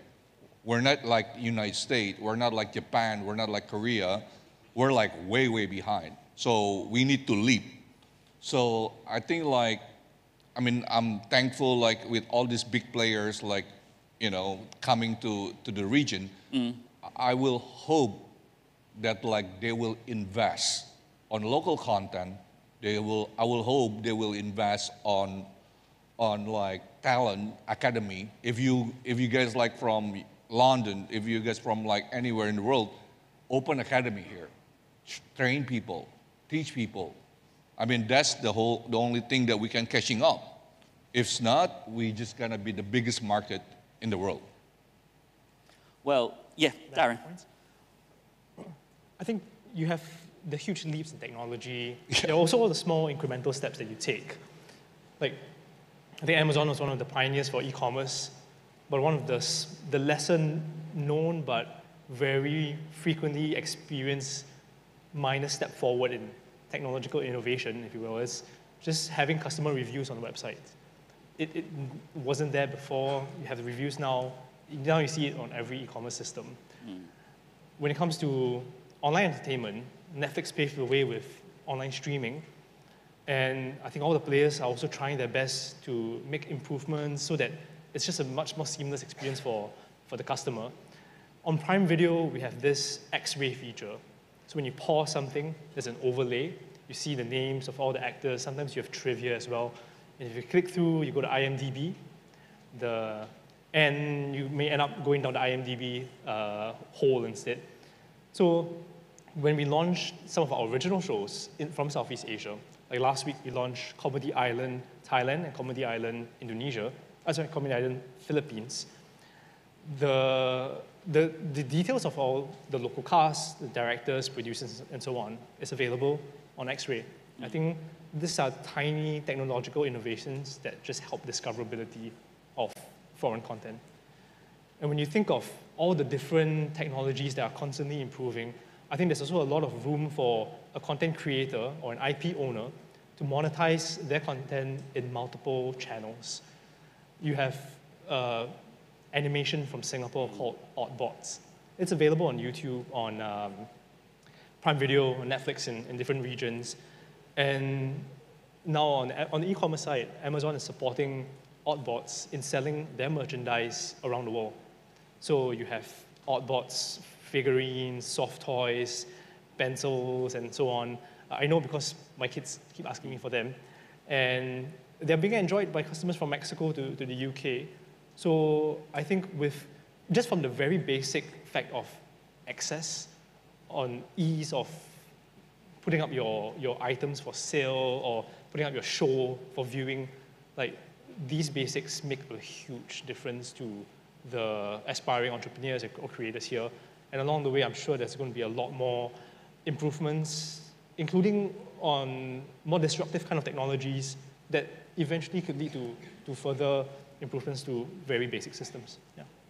Excellent. So I think um, we can be confident that used well, technology can assist us with the growth of the industry.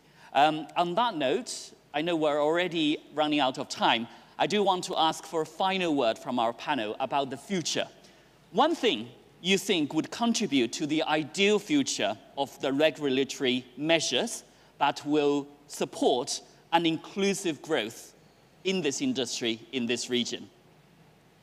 Who'd like to go first? Danny. Uh, I like to wish that like a tax rebate, tax incentive that will happening in the region. Because right now is the only country that's doing it. I think like either Thailand or and also Malaysia and Singapore, Singapore like for they, they provide like four thousand dollar or something or like it's not even funny like but it's too small but like I think like with tax rebate, tax incentive will help to promote like tourism. I mean, who doesn't watch Eat Pray, and Love and like doesn't go to Bali? That's the big example of it. I mean, right now, Indonesia, I hate to say this, but most, Indone- uh, most film from Hollywood portraying Indonesia as a terrorist or an escape country of a bad guy which is sad. You know, I think like with tax incentive, it will change that. Probably this Hollywood people doesn't know Indonesia, so that's why they like, you know, they just like assume making things up on that one. So I think that's like will help. Tax incentive from Danny Amor. Promote, protect, and preserve culture using technology. Technology. Darren. Uh, I'll follow on the P theme, protect, promote, and preserve. I'll just throw in pragmatism. So I, I think if you take a step back, we're actually still a super young industry that is constantly changing, it's so dynamic. You, uh, it, it's so hard to think of the right policy right now. And I, I don't feel there needs to be a rush to regulate, especially when you don't see a policy issue or challenge or something that's at even close to, to breaking point. And I think pragmatism in timing is important. Pragmatism in the design of the policy is also important because you don't want something that will not get you to your objective and in fact causes more harm. But it's, it's such a tricky space, and I don't think anyone has the right answer. So pragmatism, I think with humility as well, that no one has the monopoly on answers. Let's all figure this out together. On that note, I'm afraid that's the end of the session. So I don't know about you in the audience, but I'm going away feeling stimulated, energized, and positive about the future. I will certainly take some of these ideas into my conversation with my colleagues, including with ASEAN, together with my colleagues from the UK mission to ASEAN, to see what we can do in our power to support the inclusive growth. So thank you to the organizers for allowing us with this session, and a round of applause to our esteemed panelists, ladies and gentlemen. And thank you for staying with us. That's a wrap. Come, let's have a photo together. Guys, come, come, come.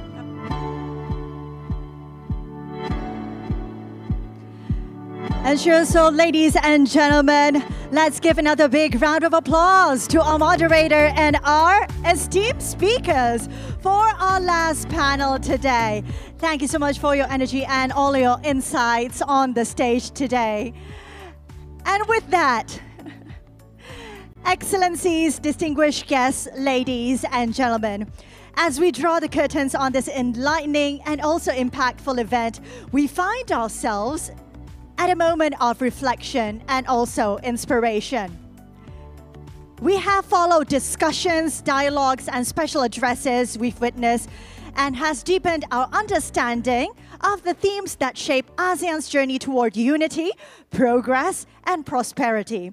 And in the spirit of collaboration, ladies and gentlemen, that defines ASEAN, I would like to express our sincere gratitude to all of our speakers, our panelists, and moderators who have shared their expertise and perspectives with us, and to everyone, to each and every one of you who has been part of this event. Thank you once again for your presence. And before officially closing today's agenda, I would like to quickly share some information. Happening right now, we'd like to invite all of you to come join us at the ballroom at the side, Ballroom 2. We will have the ASEAN Indo Pacific Forum 2023 closing ceremony by the Coordinating Minister for Maritime and Investment Affairs of the Republic of Indonesia, His Excellency Mr. Luhut Binsar Panjaitan. We welcome you to join us at Ballroom 2 to listen to his closing remarks. Once again, ladies and gentlemen, distinguished guests, excellencies, I'm Sasha Loda. It is such a pleasure for me to guide you and to be here with you throughout today. Thank you once again for attending the ASEAN Indo-Pacific Forum 2023 implementation of ASEAN Outlook on Indo-Pacific. Thank you and we wish you a wonderful afternoon. See you again. is a large state is a large state-owned enterprise that focuses on the MSME segment. BRI Digital Innovation continues to be carried out to facilitate customers in providing services to continue to give value to Indonesia.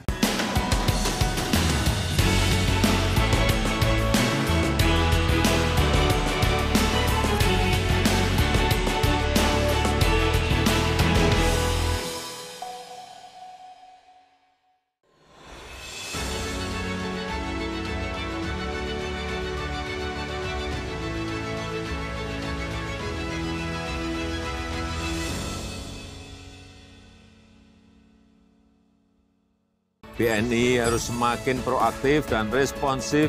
BNI terus konsisten untuk mendorong UMKM kita naik kelas. BNI berkomitmen dalam program-program pemberdayaan UMKM untuk go global. In Bank Mandiri, we are already one step forward, pioneering Indonesia's transition to low carbon economy by pursuing net zero emissions on operational by 2030. Let's put our hands together to create a brighter future.